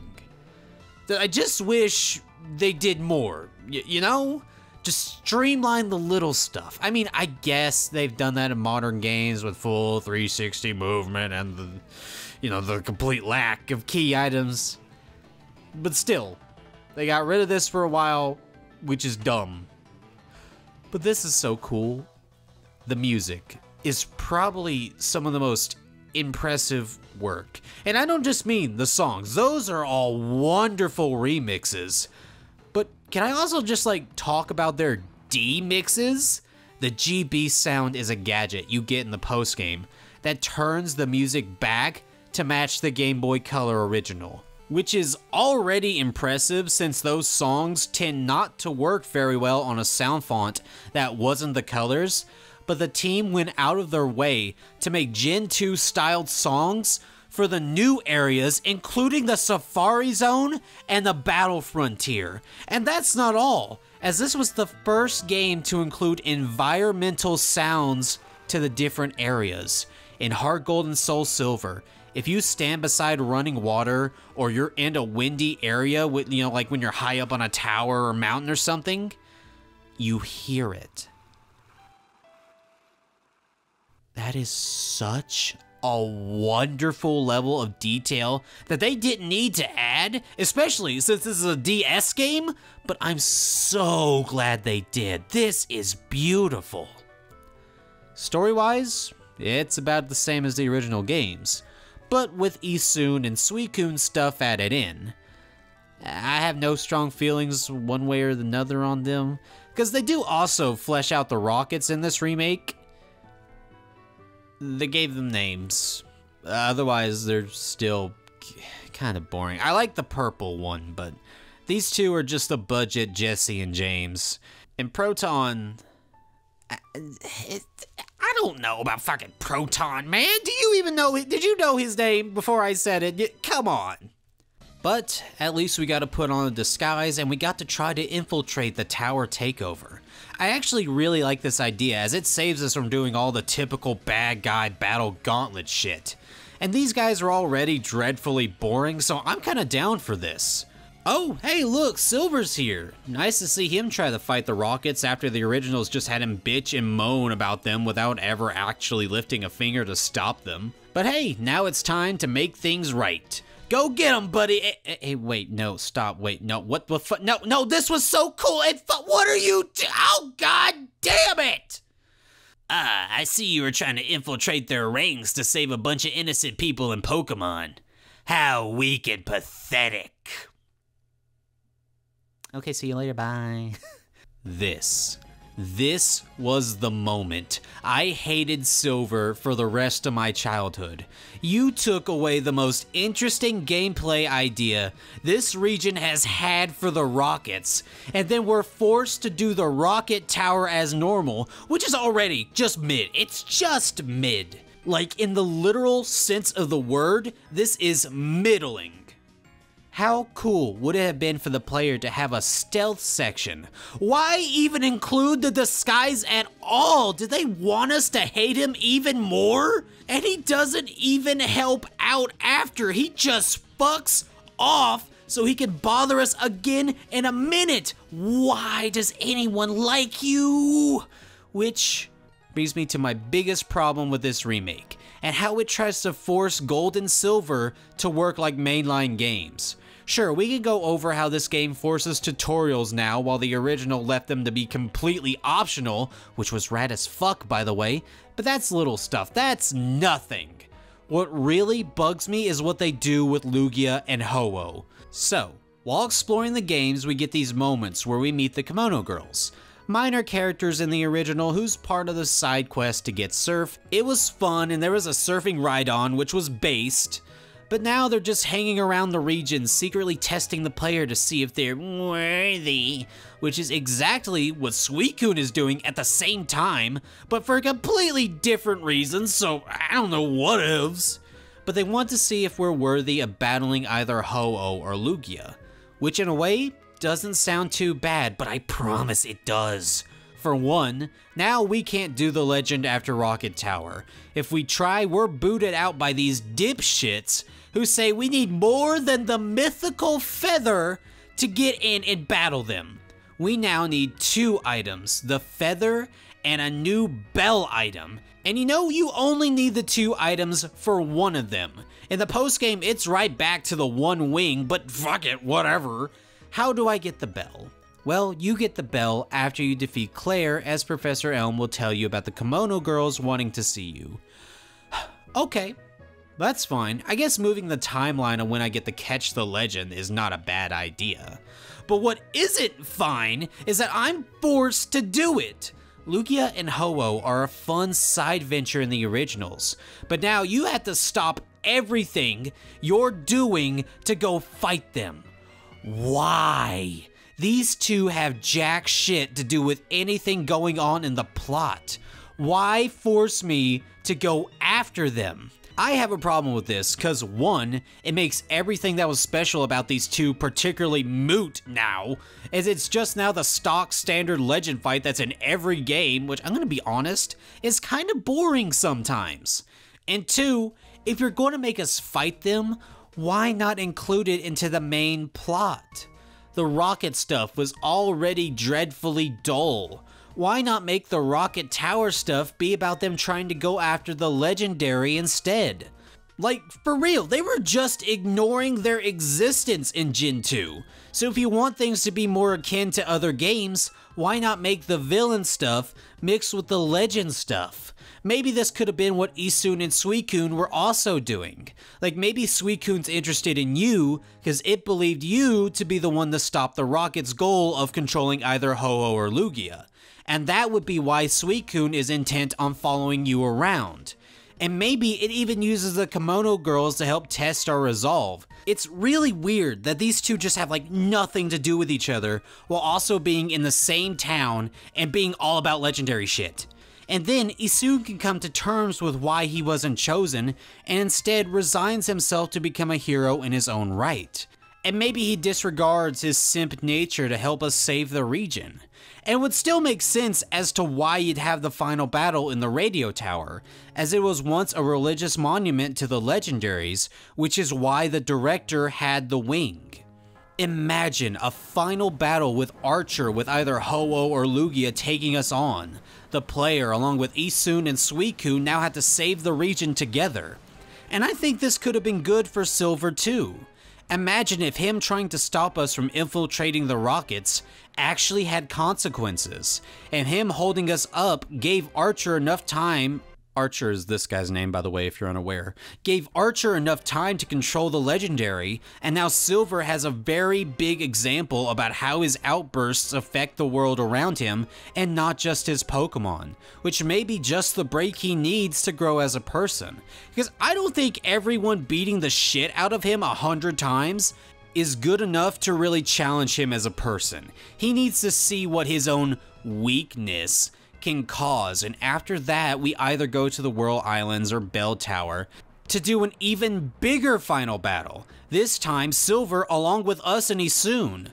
And hey, maybe all this rocket commotion will bring a certain character out of hiding. Which brings me to another thing the story does really, really poorly. Silver's father, Giovanni.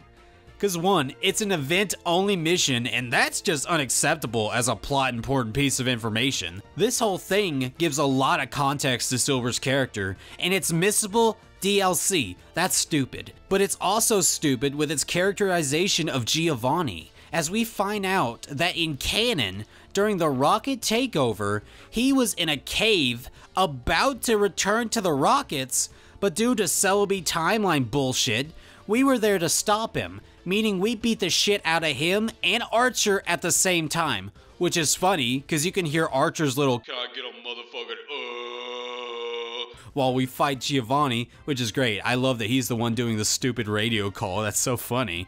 But what isn't is his characterization, as we find out his entire motivation was to try to rebuild Team Rocket again.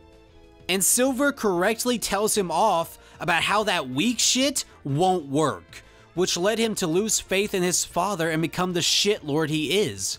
Which makes sense. Except for the fact that in all the Kanto games, Giovanni leaves that rocket shit behind to train the right way. The fuck is this wanting to rebuild Team Rocket shit?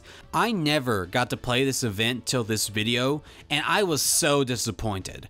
I always thought this DLC was him being disappointed in the remains of the rockets before battling the player to test their resolve to stop them, which I thought was thoughtful and a wise depiction of the character, only to see it's the exact opposite, and that's super lame. so, how about instead of just being DLC where he may or may not commit suicide? I don't know what that was even about.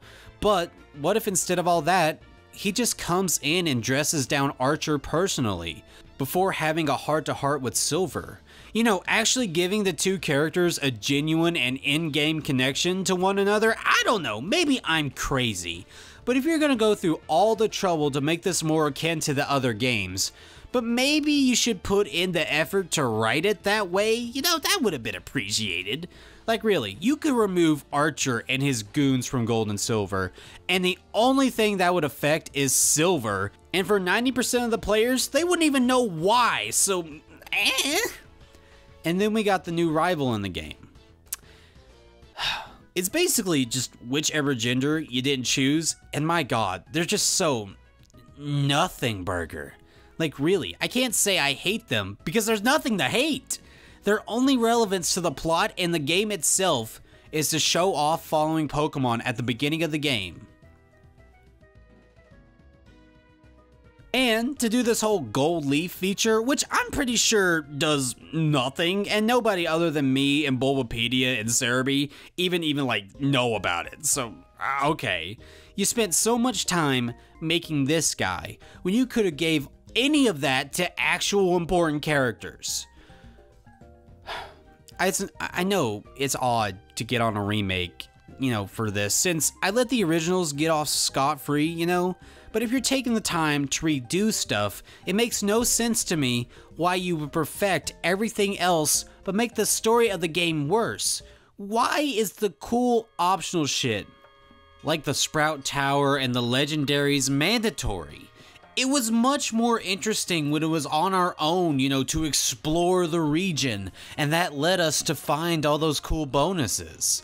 I'm on an adventure, not a guided tour. Also, side tangent. They replaced the Rhydon with a Psyduck. You cowards! Like, it doesn't even dance like the Rhydon did. The level scaling's worse. it's just worse. I'm, I mean, really, you take the time to fix things like Pryce, but you still keep him under leveled to Jasmine, and all the routes and rocket stuff surrounding him is still in the 20s. They added more trainers and more routes to the game, and this issue is still here. Why did you not think to fix the worst problem with the originals? Why are there trainers with level 20s after the 8th gym? Why? And then when you get to Kanto, where it's a lot better, thankfully, but now you're too underleveled when you first get there. And if you try to use any of the new Pokemon now available in Kanto, guess what? You now have to train them up to level 50 from like level 12. In some cases, they are at a usable level, but it's only like in the Safari Zone or the new Legendary encounter. Well, some of the new Legendary encounters. Everyone else, you're just shit out of luck. And I can't stand that this is an issue on your third attempt at a game. Thankfully, Heart and Soul Silver did make up for Fire Red and Leaf Green, and Let's Go, with cross-gen evolutions now being available before post-game. You gotta give credit where it's due, that is a really nice change, I like that a lot. And the game did add back all the areas cut from Kanto, including some new areas and events for some Pokemon, which is just really cool. Speaking of events, we actually got quite a few to cover. See, this was the era of online connection, and between that and the usual store promotions, events were as simple as sending out a signal. These included stuff like new routes for the Pokewalker, different legendaries and new items to get you extra legendaries, Pokemon with unusual movesets, and even some events that would tie in into the then unannounced Generation 5. But the two biggest are pretty well known with them both having something to do with the legendary Pokemon Arceus, the Poke God. Though I guess it feels like we get another one of these just every other generation, but this one had some staying power, at least enough to get his own game and be recognized as the genesis of all Pokemon and the world itself. So of course he got his own movie, and with that movie we got some events. The first was an event for a special Pichu. You see, if a player was to come to the Ilex Shrine with a promotional shiny Pichu, this spiky-eared one would reveal itself and join the player's party. It couldn't evolve, nor could it be transferred to any other game due to timeline shenanigans. Please ignore the other two time-traveling event Pokemon you can get that apparently just don't have any time shenanigans to do with them. But this Pichu is really cute. It's just too bad it's pretty much trapped within a 15-year-old game. Ah, well. Though, thanks to Smash Ultimate, we can at least get to see him in HD, so that's cool. But the other is Arceus himself, and this one is quite interesting. You see, the Unknown are also known as the Arms of Arceus, due to the strange connection the two seem to share. If you bring an event Arceus to the ruins of Alph, it'll transport you to the Sinjoh ruins, a set of unusual ruins with a mix of Sinnoh and Johto architecture. It's actually a really interesting location lore-wise, and it gets even more interesting when the champion Cynthia of Sinnoh shows up to give us some more details about the place. Love that they're utilizing her skill as an archaeologist for once. You see, this place actually lies between the two regions, and was built by the two cultures from Mount Coronet and the ruins of Alph the two places where Arceus and Unknown are most known for. They had apparently mixed their cultures together to have their own sort of like culture in of itself, but things then fell to, well, ruin, and it makes you wonder what happened, especially when we have places like the Solaceon ruins and the Sevii Island ruins. I wonder if this culture had anything to do with those. Though we'll probably never know, because if Legends Arceus didn't take the time to tell us about it, I really don't think any game really will. Kind of a missed opportunity if you ask me. But after we get to the place, a jarring sequence of real life locations is shown to the player, and they're able to have Arceus birth a new Sinnoh legend. With the player able to choose which of the three creation trio they like, and they get it at level 1. Aw, how cute, a baby god. Oh, So we can have two Dialgas running around in canon, but if I so much as move this rat to another state, then we got a paradox going on? What the fuck's all that about? No, I'm not talking about you, Paldea. Stupid, sexy Iron Thorns. But both of these events are pretty cool, though I'm kinda mixed on this next one. If you bring Celebi to the Ilex Shrine, it will bring you and Lyra back to the past, sorry Meryl, where you get to see the events of Silver's life that made him this way. And honestly, thank you.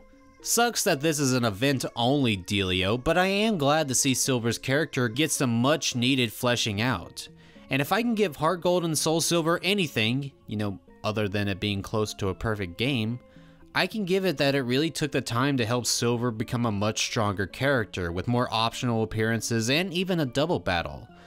I just wish you got a stronger team though. I mean, I get not having the Magnezone, it's, you know, it's impossible to evolve outside of Sinnoh and Gen 4, but at least give him a Weavile. It's too bad Giovanni's character takes a hit, but we've discussed that already. But hey, fun fact, did you know that the Ilex Shrine actually had nothing to do with Celebi back in the original Gold and Silver? It wasn't until Crystal where it got its connection to it.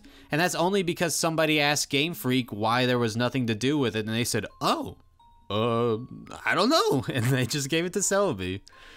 Ah, it's just kind of funny. You think that would be obvious, but no. Game development's fun. There's always fun little stories like that. Wait, I just realized something. Gold has Ethan, Chris has Lyra. Why doesn't Silver have a normal name? Like, why is he named after like a traitorous pirate in a 1960s children's book? You, actually, never mind. I can totally believe Giovanni would name his kid something like Silver the Edgehog. God, this poor fucker never had a chance. All in all, Heart Gold and Soul Silver are probably the perfect Pokemon game, and if they're not, they're damn close. The gameplay is fun, at least for the most part. The graphics are beautiful, the music and audio effects are so impressive, and the amount of stuff you can do is insane. I can complain about having to wait a year to get a Gible, but at the very least, Heart Gold and Soul Silver would keep me entertained while I waited. There is a reason why these are considered the best Pokemon game. Sure, like I said, there are some negatives, but the package overall is so good, I could never let them bring it down. Remaking a game is thought to be, you know, truly impossible, as to recreate something so far removed from the environment it was made in, well, shit, you got your work cut out for you. And to make it similar enough to the original, or at least to the spirit of the original, well, that's just a plain unenviable position. Which makes it all the more impressive that they didn't just nail it with this game, they made the new standard. And for Game Freak, that was a problem. In fact, that may be the biggest regret they have about Heart Gold and Soul Silver. They just can't seem to reach that high again. They try, of course. I mean, Black and White at one point was going to carry over a lot more from Heart Gold and Soul Silver, at least more than the final game we know. But that amount of polish and content and love in Heart Gold and Soul Silver, in their eyes, it's just too much for another game to be developed like it.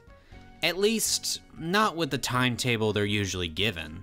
I really wish I could find this one quote. It was made by a high-ranking employee at Game Freak, but it basically described his regret and how much they put into Gold and Soul Silver because of how difficult it would be to meet that expectation again.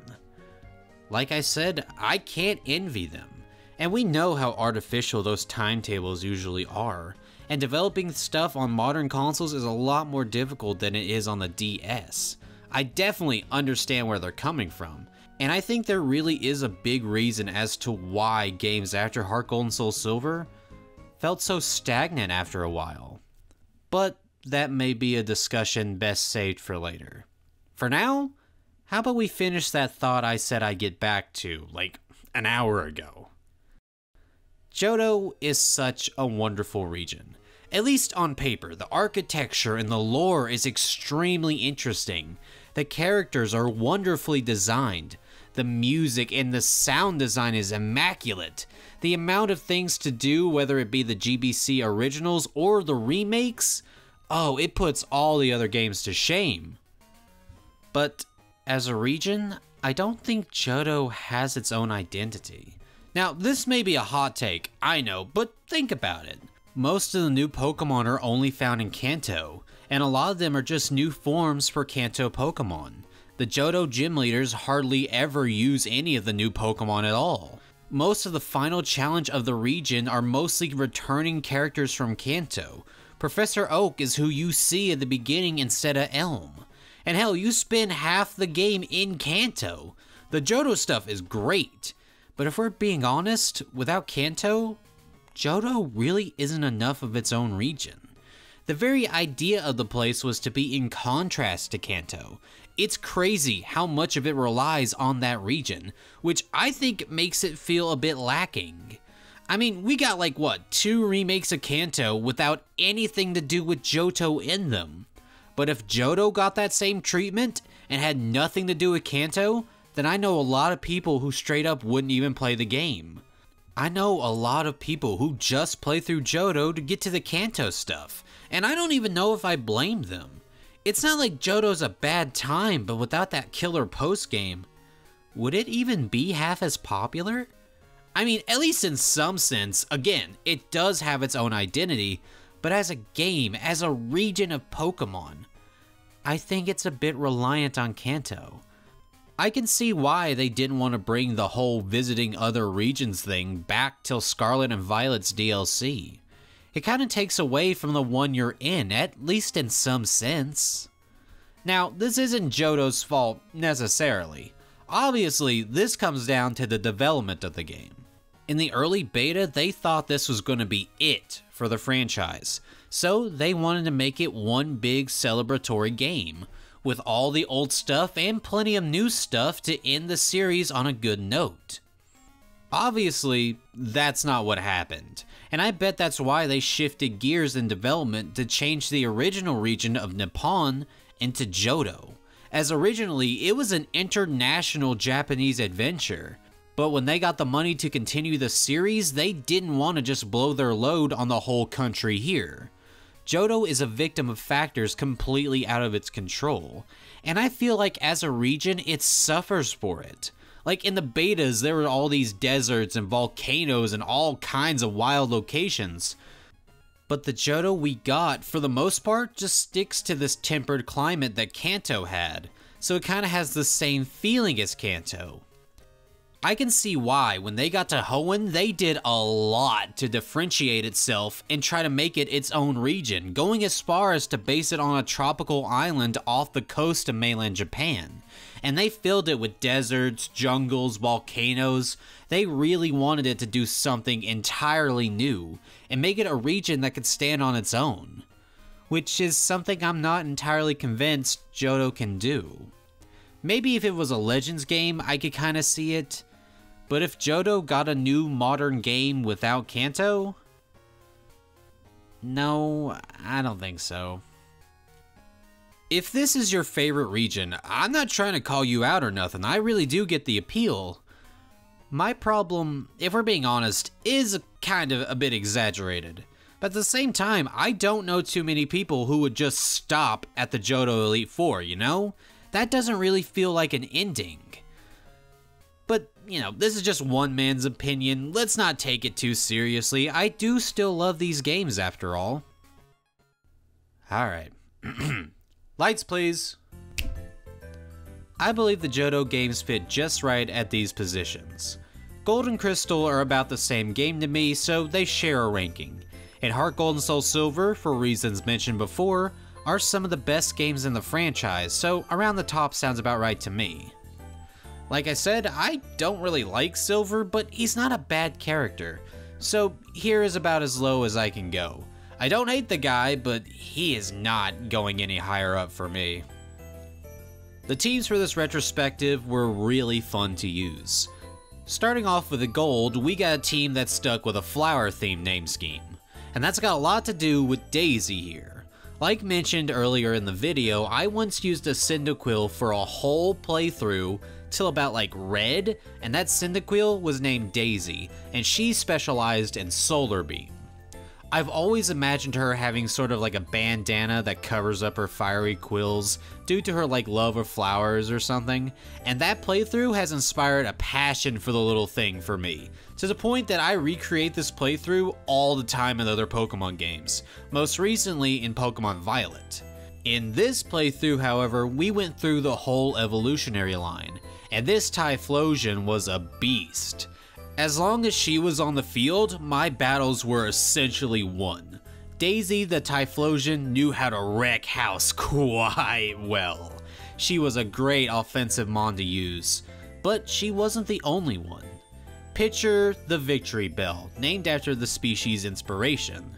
Didn't get their Gen 2 Evo like the Oddish line did, but that didn't stop them from turning the world of Johto on its head when it came to dishing out damage. Well, at least poison type damage, due to Victreebel's physical base attack stat being much larger than their special, grass moves were about as strong as a wilted flower. Till I was able to set up a grass type hidden power on him that leveled the playing field quite well. 90 based power, whew! Otherwise, he would have had to use Giga Drain, which is about 60. I'm sorry, Victreebel, not everybody can get Petal Dance. At least they became the new master of Sprout Tower, though. That was a fun little plot point. Bonsai the Sudowoodo. Named after the popular tree from which Sudowoodo takes its inspiration, was another hard-hitting attacker for the team. With moves like Rock Slide and Earthquake, they took down any obstacle in their way. Legends included. Oof. Chicory, uh, I mean Chicory, the Miltank, named after the favorite flower eaten by cattle, folded shit like it was laundry. Oh my god, poor, poor Morty. Rollout is a bitch when it gets started. I can totally see why a certain girl uses this as her main. Once you see this heifer for yourself, yeah, no, yeah, I get it. Jesus Christ, that move pool. Whitney was holding back. Snapdragon, the red Gyarados, named after, obviously, the Snapdragon flower, was kind of underwhelming. I mean, sure, at the point where it's given to you, it pretty much just walls most of the later game Johto, and it does that very well, but after that, it just couldn't keep up. It just had no good stab damage due to water being a special type, and Gyarados being physical. And that flying type might as well be decorative. Most of this, you know, was my fault for not planning a better move set. Gyarados is a monstrous Pokemon, just, I don't know, I rather use the TMs that I could have used for it on other Mons, and that really hurt it in the end. I'm sorry, Snapdragon. But speaking of snapping dragons, god damn, you the Jynx, named after the winter flower, was unbelievably broken. Like, honestly, whatever she didn't outspeed and put to sleep, she outsped one shot with Psychic or Ice Beam, and if it did put you to sleep, she also rizzed you up, making it so that if you did wake up, you missed most of the time.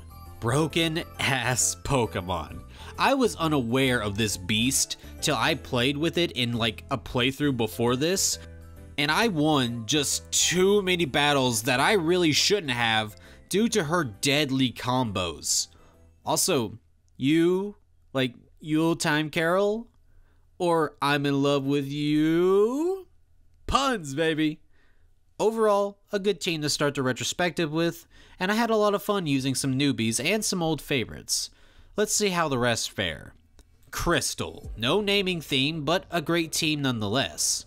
Starting off, we got Gotcha, the Feraligatr, that I named after a toy I got on a school field trip like years ago.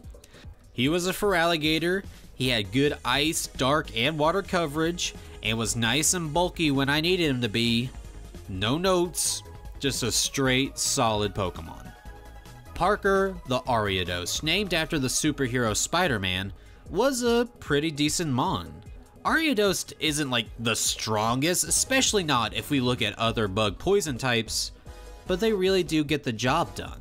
I have never regretted using an Ariados in a playthrough. Give it the right attacks and some good statuses to spread around, and you got a solid Mon with the proper strategy. Weed Whacker Jr., named after the expert HM user himself, the Weed Whacker family has been helping me for years behind the scenes, and every once in a while a member of the family steps up to full team status. And when they do, they typically become the floral skirt turned saw blade Bellossom. And Junior was no different, learning the dance of a thousand blades, petal dance, from the Kimono Girls in Ecruteak, or at least that's my head canon, that's not actually how that went down.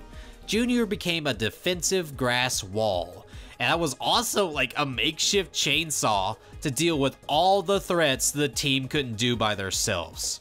Junior really did their best to make their family proud, which they definitely did when they survived a blizzard from Red's team. Are you proud, Papa Weed? Muscle the Machoke was the muscle mommy the team needed when we got her from a trade in Goldenrod. Personally, I've always liked Machoke over Machamp.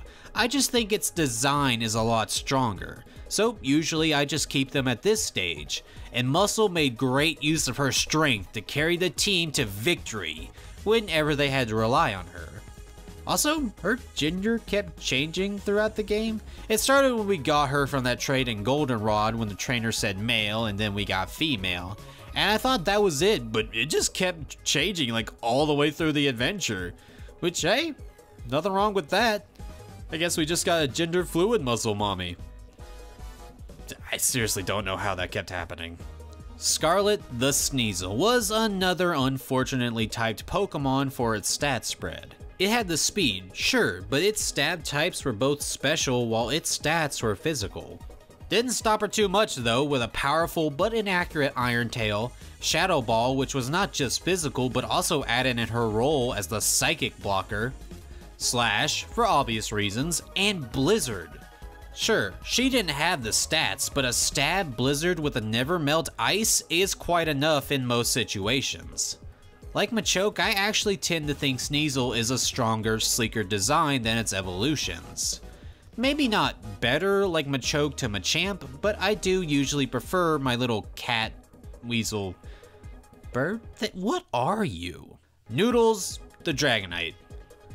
It could go light speed, and anything that didn't get wrecked from that it wrecked it with its absolutely mad stats. Though, I am kinda mad personally that I had to leave and then come back into the shrine to get him at level 15 at the end game. That kinda sucks, but it was worth it. This was a really fun team to use with a lot of classics that I've always liked, so you know you can't go wrong with that. It was a great time. Now, let's look at Soul Silver. We actually do have theme names for these guys, and if you can't tell, it's all Godzilla. I bet you can guess who our Ace Mon was. But first, let's talk support. Biollante the Meganium. Pitch perfect support. I will never get off the hill that Meganium isn't a bad starter. You guys just can't play her like she's a beat stick. I mean, you can, but that's just not her strong suit. With moves like Reflect and Light Screen to cripple the damage coming your way, aromatherapy to cure the team's status afflictions. And then you got moves like Toxic, Attract, and Sleep to throw out your own status afflictions. Not to mention, they're bulky as fuck. This thing cripples idiots like Whitney or Lance, who are all power, no substance. If you don't like Meganium, it's because you don't understand how it plays. And that's probably why you have a lot of trouble with these two, and you're probably just bad at the game in general. Titanosaurus, the Ampharos, was a great Pokemon to have around, especially with how she always had the best interactions in the overworld, including her little crush on Amphi in the lighthouse. Titano was a fun Mon, and apparently female? I mean, Ampharos as Titanosaurus is already kind of a stretch of a parallel, so, you know, whatever. I personally am just still in shock that she managed to solo Mewtwo at such a lower level. And this was after we retired her for the second half of the journey. We brought her along for her flash skills and she decided to take a victory lap of her own. You go, girl, god damn. King Caesar the Luxray replaced Titanosaurus in the postgame. Mostly because I wanted to show off other generations of Pokemon, kinda like how I used Furret and Xatu last time. And I was gonna use a Manectric to give Johto some Hoenn love, but I wasn't waiting a month for it. Ah, Luxray, the most dark type a non-dark type could look. The physical menace was a great electric boss to have on the team, though he didn't beat Mewtwo solo, so Titano has that over him, not to mention the hose. Uh, sorry, my edgy little boy, but you are more of a fan favorite. Kenya the Fearow was a Pokemon I stole from these punks in Violet and Goldenrod. It was actually a lot better than I realized it would have been. I've always liked Fearow as a fast attacker, but I never knew Mirror Move was so fun as a know you kind of mechanic. God bless, I loved using this bird. Also, yeah, I stole it, so I didn't have the chance to give it a Godzilla nickname. But like, there ain't a lot of birds in those games anyways, so like, what was I supposed to call it? Big Condor? Big Condor the Staraptor replaced Kenya in the post-game Kanto quest. Basically doing everything she did, but better and with close combat. Ah, oh, Staraptor, it's so good, bro. Really, I just wish it had that fighting flying type. That would have been perfect. And it also would have been perfect if I didn't have to train it up at level 12. That was a pain. But in every way else, this Mon was perfect. And my Sinnoh loving heart loved all the Sinnoh Mons I got to use for this playthrough. Baragon, the Azumarill, was cool. Yeah, I know Azumarill has like this crazy history as a spongy water type monster, especially in Gen 5, but here it was pretty decent. No complaints, just nothing else to add other than how ridiculously low that encounter rate is. I mean, I really never even realized I could actually get this Mon in Johto for like the longest time. I always thought Ethan was just flexing on me. And maybe he was, to be honest. Oh, also, it's adorable. Just look at this dipshit. Behemoth the Mamoswine. Fuck yeah, now we're cooking. A pure power, not that kind, a pure power monster that snapped dragons and lesser mons alike with his powerful ground and ice stab. This time with physical support. Thank you, physical special split. And when he wasn't doing his best to prove himself as the monster of the frozen world, he was mentoring the next Mon and the ace of our team, Godzooky. The Tyranitar. Yeah, I kind of blueballed you a bit on the name, right? Well, either way, the Prince of the Monsters wasn't just my personal vessel for the water. He was also the most powerful Mon we've used in the retrospective so far. I'm actually not kidding. Tyranitar as a Pokemon was pretty much built for the top of the ladder, and he stayed there pretty much from his introduction to modern day, where he's finally getting a little pushback. But honestly, Game Freak had to know what kind of monster they made, because he was impossible to get in the originals, and only could you get him with intense grinding at the tail end of the game. Lucky for Heart Gold and Soul Silver fans, we can actually get him at a reasonable time, meaning we get to fully experience his power. And yeah, he's got that dog Zilla in him.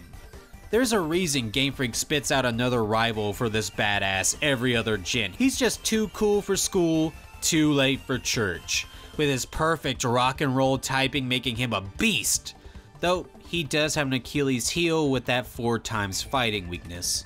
But honestly, that's fine, he rules the meta anyway, truly becoming the king of all pocket monsters. Overall, probably the strongest team I made for this retrospective. I know, maybe we'll have something better later on, but for now, I don't know, this is pretty peak. And so were the rest of the teams in this video. I've already talked at length about Johto Mons in general, so I'll save you the earful. Instead, let me just say that these teams were really fun to play through with, and I'd love to know what teams you recently rocked through Johto. Did you make any subs when you got to Kanto? I know I like to pull an Ash whenever possible, but that's enough from me. Thank you for watching everyone. Please support the channel in whatever way you feel comfortable with, and I'll see you all next time when we take things to the next level of Pokemon battling at the Pokemon Stadium. See you then.